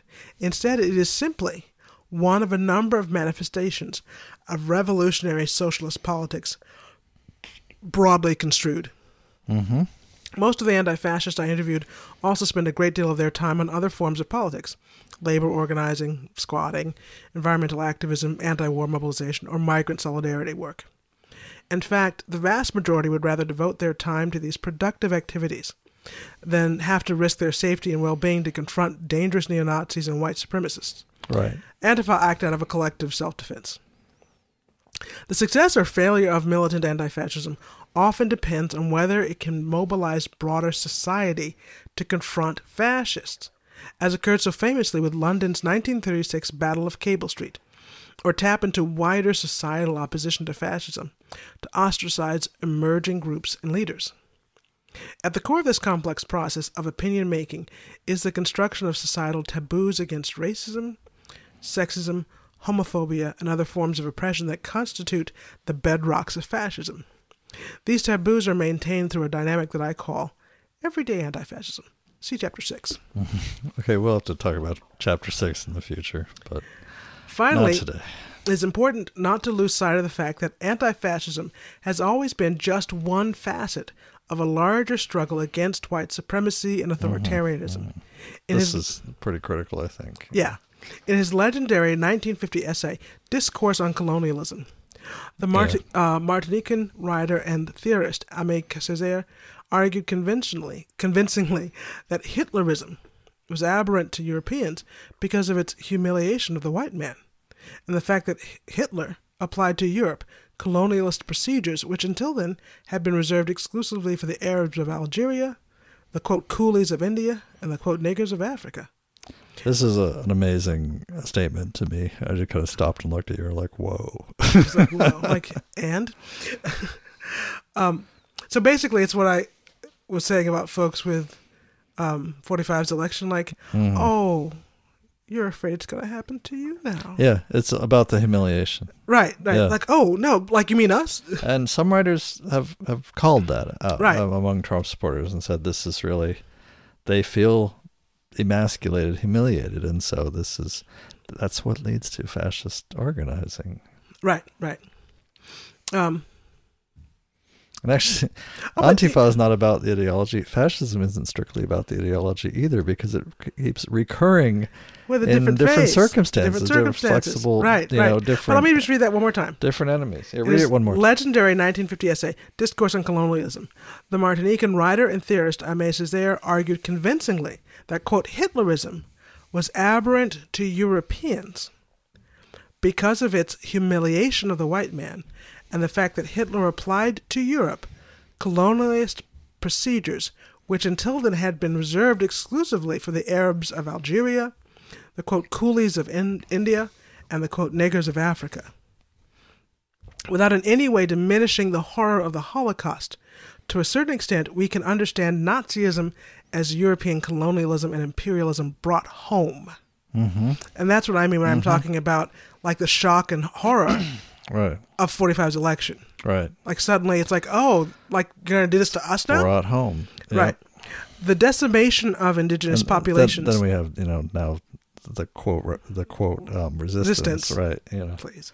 Without any diminishing, oh, well, uh, the decimation of the indigenous populations of the Americas and Australia, the tens of millions who died of famine in India under British rule, the 10 million killed by Belgian King Leopold's Congo Free State, and the horrors of transatlantic slavery are but a sliver of the mass death and societal decimation wrought by European powers prior to the rise of Hitler. Early concentration camps, known as, quote, reservations, were set up by the American government to imprison indigenous populations, by the Spanish monarchy to contain Cuban revolutionaries in the 1890s, and by the British during the Boer War at the turn of the century. Mm-hmm. Well before the Holocaust, the German government had committed genocide against the Herero and Nama people of southwest Africa through the use of concentration camps and other methods between 1904 and 1907. For this reason, it is vital to understand anti fascism as a solitary component of a larger legacy of resistance to white supremacy in all its forms. Mm-hmm. My focus on militant anti fascism is in no way intended to minimize the importance of other forms of anti racist organizing that identify with anti imperialism, black nationalism, and other traditions, rather than imposing an anti fascist framework on groups and movements that conceive of themselves differently even if they are battling the same enemies using similar methods. I focus largely on groups that self consciously situate themselves within the anti fascist tradition. That's what Antifa is. that's what Antifa is. So that's a that's a segment. It's a quick segment. You want me to read? Um, I, I, I'm okay. I can continue. You're okay. You sure? Yeah, yeah. Uh, Give me uh, one second here. Sure. Go ahead and start. Okay. Chapter 5. So much for the tolerant left. No platform in free speech. The quote, sacred tradition of free speech was under attack. The birthplace of the free speech movement of the 1960s, the campus of the University of California at Berkeley, was paradoxically said to be spawning a no free speech movement half a century later. The embattled Berkeley College Republicans were under siege, as first Milo Yiannopoulos and then Ann Coulter were prohibited from expressing their opinions by effing babies, as Bill Maher described them, who were carrying out what he called the liberals' version of book burning. Yeah, I'm not a fan of Bill Maher. There you go, fuck himself. Probably, probably doing that right now. a horrifying alliance of masked hoodlums who arrived from off campus, petulant students, and weak kneed administrators, Petulant. as various pundits described them, had turned universities into propaganda training grounds for the next generation of brown shirts. Well, there's that. like, uh, well, sort of, but not Sort in the sense that. Not in the sense you mean. Right. In another clear Nazi reference, a CNN commentator warned, if you don't stand up for Coulter's liberty today, someone will come for yours tomorrow. Coulter's Liberty. Give me a break. And more importantly, the Enlightenment will die a violent and pathetic death. And Grace is like, really? Really? Is this all it takes? The clashes of early 2017 brought the quote masked, self styled anarchist bent on wreaking havoc, known as Antifa, into the public spotlight. Despite a complete lack of historical or the theoretical knowledge, pundits concluded that anti fascism is a greater threat to free speech than even fascism itself. Because it's not like the fascist would shut down your right to free speech. No one, what kind of person would do that? Right. Uh, and this is not. He's not exaggerating. He's not- Th- no, this no. is what was happening. This was actually happening. Yes. There were these these conversations were taking place. Yeah. Uh, literally, aren't they? Aren't you? Aren't they the real Nazis? Aren't they realized. No. No, actually, they're not. But are anti fascists enemies of free speech? This chapter is a guide to answering this and other controversial questions pertaining to free speech and anti fascism in the era of Donald Trump. Ultimately, I argue that although the ideology of anti authoritarian anti fascist promotes free speech far more than that of their critics, even their liberal critics, militant anti fascism refuses to engage in terms of debate that developed out of the precepts of classical liberalism Yep. that undergird both liberal, quote, and, quote, conservative positions in the United States. Instead of privileging allegedly, quote, neutral universal rights, anti fascists prioritize the political project of destroying fascism and protecting the vulnerable regardless of whether their actions are considered violations of the free speech of the fascists or not. Yep. So, yeah. So, in other words, basically, it's, it's you know, the, the, they're concerned about the sensitivities of the fascists and their free speech rights. It's just not their highest priority. It's not my highest priority, sorry. Right. Here to, here to punch fascists and chew gum, all out And, of and gum. protect uh, protect the vulnerable. Protect the vulnerable. That's, Yeah. that's the point here. That's the point. and also like if your free speech protections aren't punching are Right. punching down Right. Right. it's not and, you know, and the um and the the people making this argument about well aren't the anti-fascists the real, real fascists? fascist here They are in general again not really engaging in good faith no because they don't they're not confused. they're not confused they themselves are crypto fascists many times Absolutely. how free is quote free speech in terms of the debate often the terms of the debate often presume that anti-fascism is the only threat to an otherwise pristine state of free speech safeguarded by the american government Yeah. About that. Well, you know, actually Ask- we've been talking about that. Ask the. Move Nine about that. Yeah. Jesus Christ. Right. It is imperative, however, to understand that the American government already seriously limits what can be expressed and who can express it. Rightly or wrongly, the government has placed a number of constraints on speech. It restricts false advertisement, libel, and television, television commercials for tobacco. Mm-hmm. It prosecutes incitement to violence, protects copyrights, and limits when and where pornographic images can be shown. This, again, Yeah, we, you we mentioned already- libel Right. earlier, right? and incitement to violence. Right. We already Crowded theater. prosecute incitement to violence. Yes. If Alex Jones is inciting people to violence, we have law that governs that. Right. We're we not- don't need new laws and new action and new censorship Right. to respond. But you know, the same thing where like it's taken over a year to get this actual fascist convicted, right? And a lot more are still waiting court dates and all Right. that. Um, and then walk free as it happens. yeah, you can't like people can't. The vulnerable can't wait. Can't sit around waiting Right. for the for the wheels Yeah, of justice. Jones is getting sued, right? Yeah, it's happening right now. he's- they're- and his lawyers assert no reasonable person could believe anything he says. he's, but but he's still here because this that shit takes years takes to years work to out. work out. And it, okay, and the government also limits when and where pornographic images can be shown. So do I. Yeah, right. Yeah, whenever I see it, I turn it around, I burn it, I take it Yeah. out, public view. Um, Yeah, she's uh, covering up the Cosmo. We're talking to you. yeah. Especially in times of crisis, Americans actually sympathize with restrictions of speech. This was evident in the aftermath of September 11th, when half the country favored press restraint on covering the Abu Ghraib torture, mm-hmm. or in the fact that the journalists are often arrested or harassed by police at protests, Yep. such as Occupy Wall Street and There's No a- DAPL. There's a great article that I've been meaning to to talk about. You know, I want to do three shows a week, right? I know, right? Uh, but about remember after the inauguration, Yeah. there or during the inauguration, Mm-hmm. th- there was a large group of people arrested, yeah. and one of the journalists who was arrested talks about his like multi-year legal nightmare, where he was just covering this event. I'm just here doing journalism. but what's actually happened to him has been this nightmare and it's Right. like and he was up for felonies that would put him in jail for what was it 18 years 18 or years. something like that Curiously, the resistance is not concerned about these assaults. Nobody's- yeah. Yeah. right and my cons- and and again also my quote conservative friends who are supposedly libertarian well you know he shouldn't have been around people who were like overturning trash cans Just saying. He's a journalist covering people overturning trash cans. Where else should he be?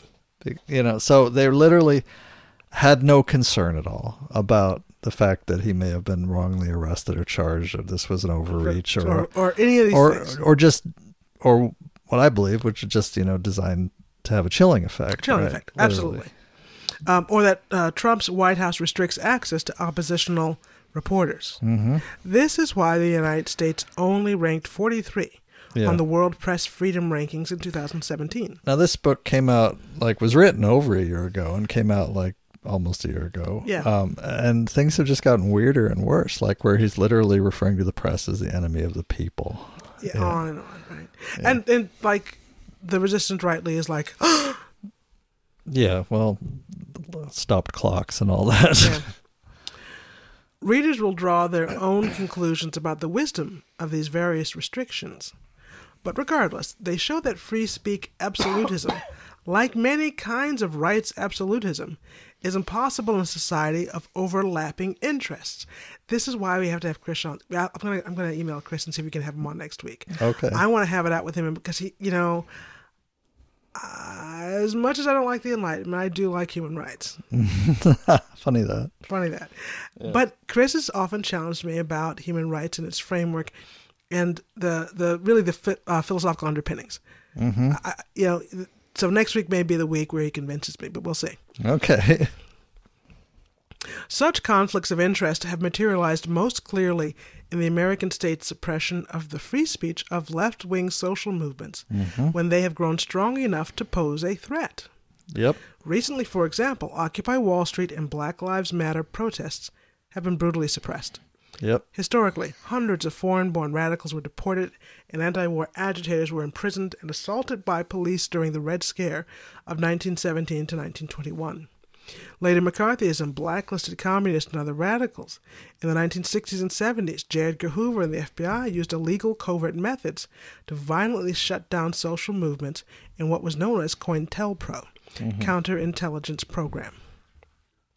The corpses of murdered Black Panthers show how the government takes only a somewhat neutral stance towards free speech when it does not feel endangered itself.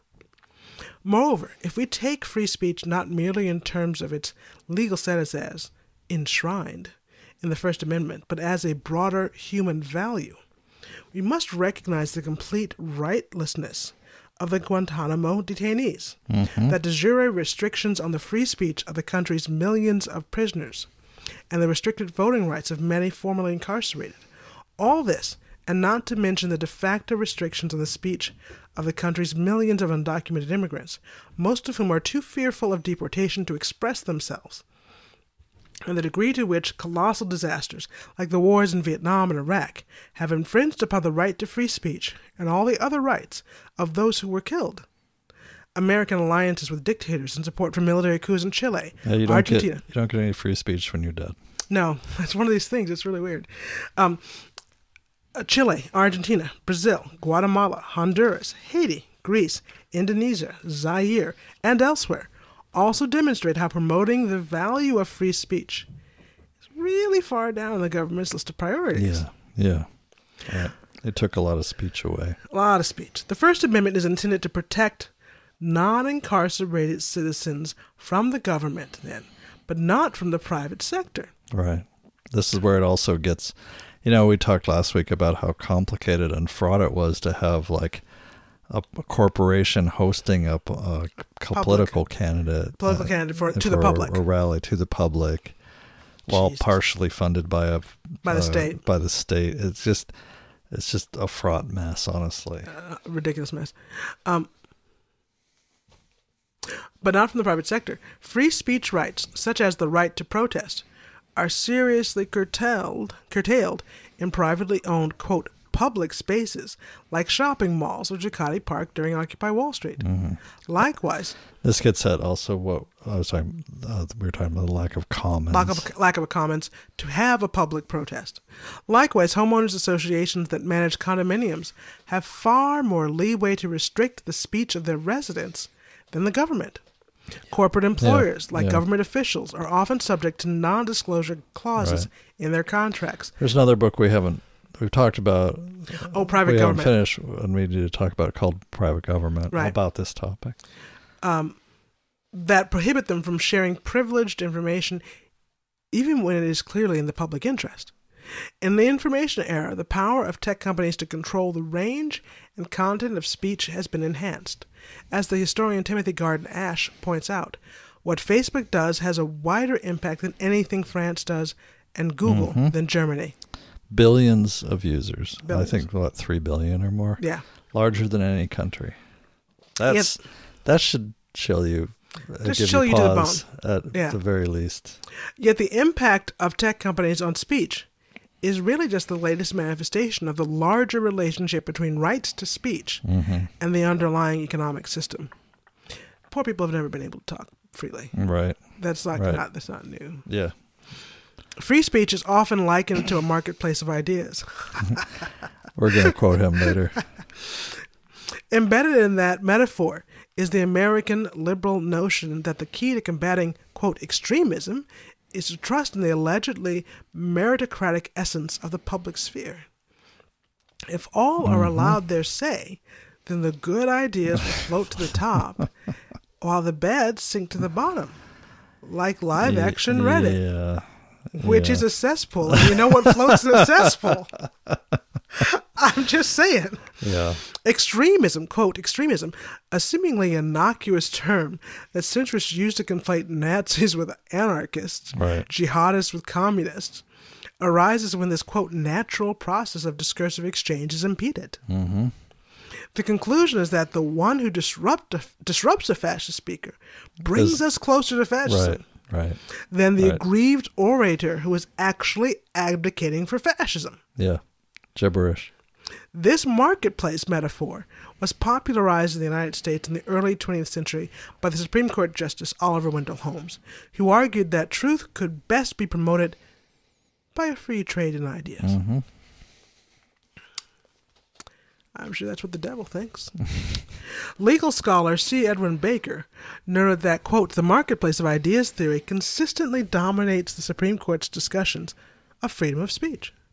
In fact, the quote marketplace metaphor perfectly describes the power dynamics of free speech in a capitalist society, Yep. though not in the way that its proponents right, intended. right. right. Multinational corporations aspiring towards mono- monopolistic control of capital and information establish the general confines in which the vast majority of humanity sell their labor articulate their speech. and this is yeah again it's tied up with the with the private government thing and then it's also tied up with um The commons thing. the commons thing the bounds of of have of everyone having to be an employee Right. right and So if you want to hold at, that job, at will you know just think about what you're saying in public. yeah Um, sorry uh, capital information sell their, sell their labor and articulate their speech. The market of commodities is inseparable from the market of oh, ideas. oh the the yeah the the fact that it's tied up with capitalism and these these commercial sites facebook these are these are commercial concerns these are money making enterprises they're Right. public publicly traded companies right Right. that inherently slants their you know the whole notion of The speech notion of speech, inside this right. platform.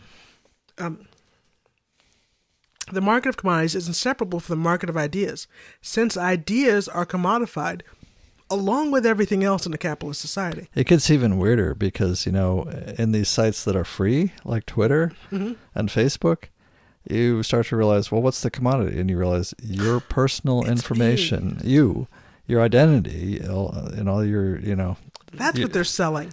access to you. Is That's what they're selling. Right. That's the commodity. Here's Grace and everything she thinks. Come look. It You gets, can have it for five dollars. and then you can market to her. What do you think, bro? This is the marketplace of Of ideas. ideas. Ding.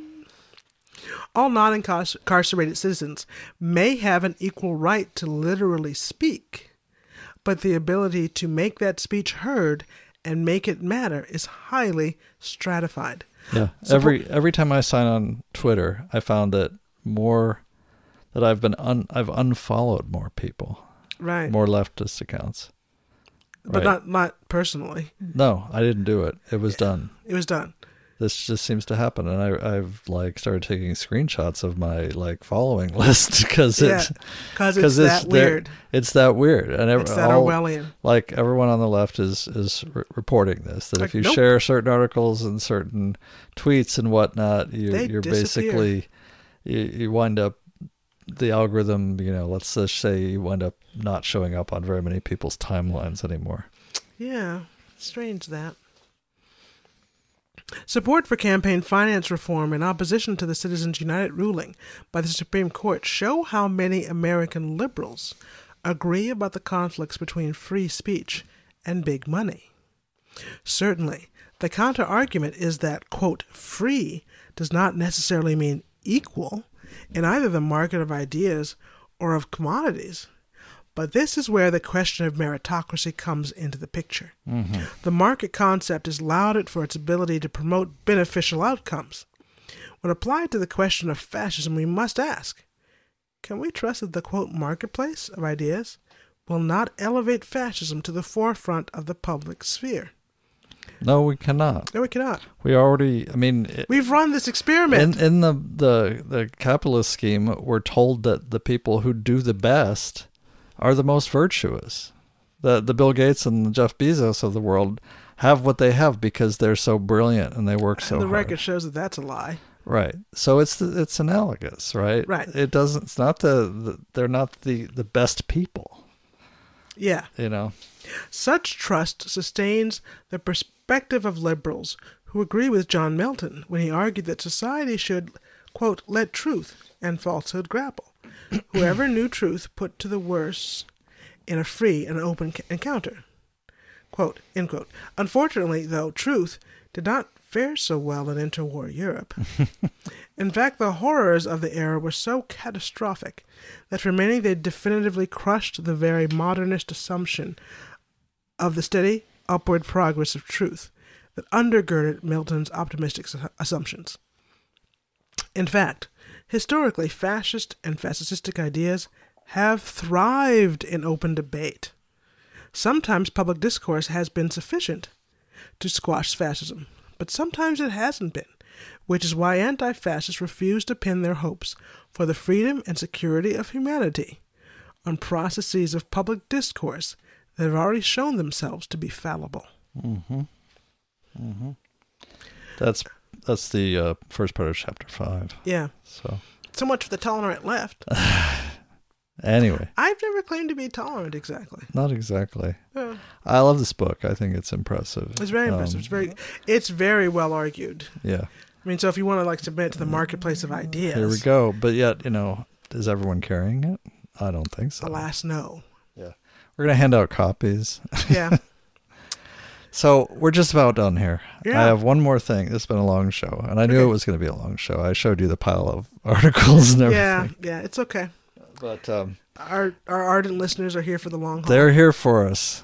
They're they're up for it. I have I have a lot of confidence in them. yes.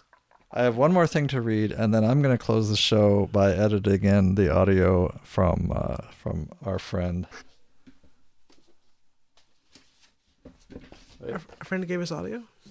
Not literally. Oh, Karl Popper. got it.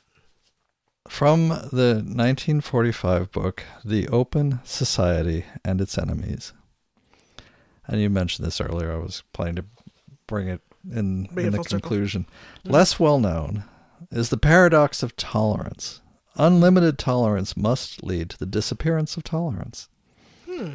If we extend unlimited tolerance even to those who are intolerant, if we are not prepared to defend a tolerant society against the onslaught of the intolerant, then the tolerant will be destroyed, and tolerance with them. Yep.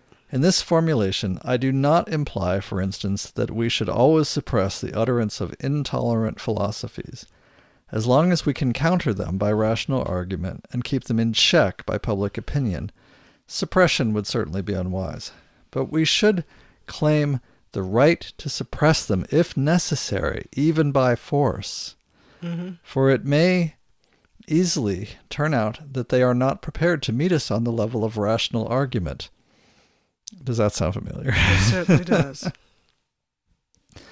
yeah. Uh, Jordan Peterson, Ben Shapiro, all these, you know, Milo Yiannopoulos, all these folks, they don't have arguments, No. right? I wish they did, actually. I wish they did. I wish it was interesting, but there's too much at stake. Right. Yeah. Our our safety, the safety of people that we love and care about. But begin.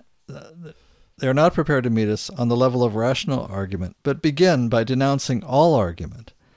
They may forbid their followers to listen to rational argument because it is deceptive, and teach them to answer arguments by the use of their fists or pistols. In the case of Peterson, they obscure their argument with mysticism. He obscures his arguments with mysticism. Yeah. That's an old strategy. It's Yeah. not new. There were uh, the Third Reich used religious arguments Oh, yeah. and weird ones But religious and obfuscated ones. Right. We should therefore claim, in the name of tolerance, the right not to tolerate the intolerant. We should claim that any movement preaching intolerance places itself outside the law, and we should consider incitement to intolerance and persecution as criminal, in the same way as we should consider incitement to murder or to kidnapping or to the revival of the slave trade as criminal. Right. I'm going to insert here uh, a clip um, by comedian Aamer Rahman, Oh, yeah. and you've heard it before. Yeah. It's good. so uh, I, I can't, I don't don't actually have a way to play it while we're here listening with our headphones on, Yeah. but but you'll hear it. You'll hear it. It's good. Uh, and it all started, you know, it all started with that stupid Richard Spencer article, like near the end of last year, right? It was like, oh, look, look at this dapper Nazi who doesn't dress the way we thought he would. Here's an in depth interview where he gets to air all of his fucked up ideas in a mainstream media outlet, which then led to more interviews with other Nazis in mainstream media outlets. Mm-hmm. And then Richard Spencer got punched in the face, right? Which was an amazing moment in comedy history, right? Because, I don't know if you know, Richard Spencer was being interviewed, and in the interview, he was asked about his Pepe the Frog badge. So he was trying to explain a meme, and then out of nowhere, a hero came along and punched him in the face, instantly turning him into a meme. It's like casting a spell. And then every white liberal came out of the woodworks going, mm, I don't know, I don't know that's what we should be doing. Should we really be applauding someone for punching a Nazi? Is that how we want to have political conversations? Shouldn't we hear people out? If you punch a Nazi, it doesn't make you as bad as one. You know what we should do with Nazis? We should debate them, and we should defeat them in the marketplace of ideas. I don't really know where that is. Uh, I would like to defeat Nazis on planet Earth first. And then after we eradicate them here, you can fight them in the marketplace of ideas, fucking Narnia, Mordor.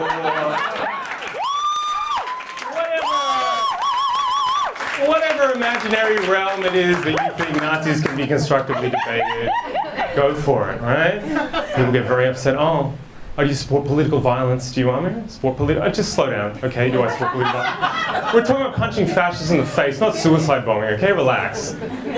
Do I? Why do I support political? Why the fuck are you a volunteer Nazi safety advocate? Is my question. That- that's a funny thing to be concerned about, the well-being of hypothetical Nazis. Well, it's a slippery slope. It's a slippery slope. Who gets to decide? Who gets to decide who gets punched in the face? If you punch a Nazi, who's next? Hopefully more Nazis. And why would you? Why would you only punch one? That doesn't seem right. Okay, I think that's a wrap. that's a wrap. You've been listening to the Grace and Paul Pottscast. Check out the show blog at pottscast.blogspot.com, where you can leave comments or search for the Grace and Paul Pottscast on Facebook or YouTube. Bye. Till next time. And though we spoke quietly, and though we spoke quietly, and though we spoke quietly,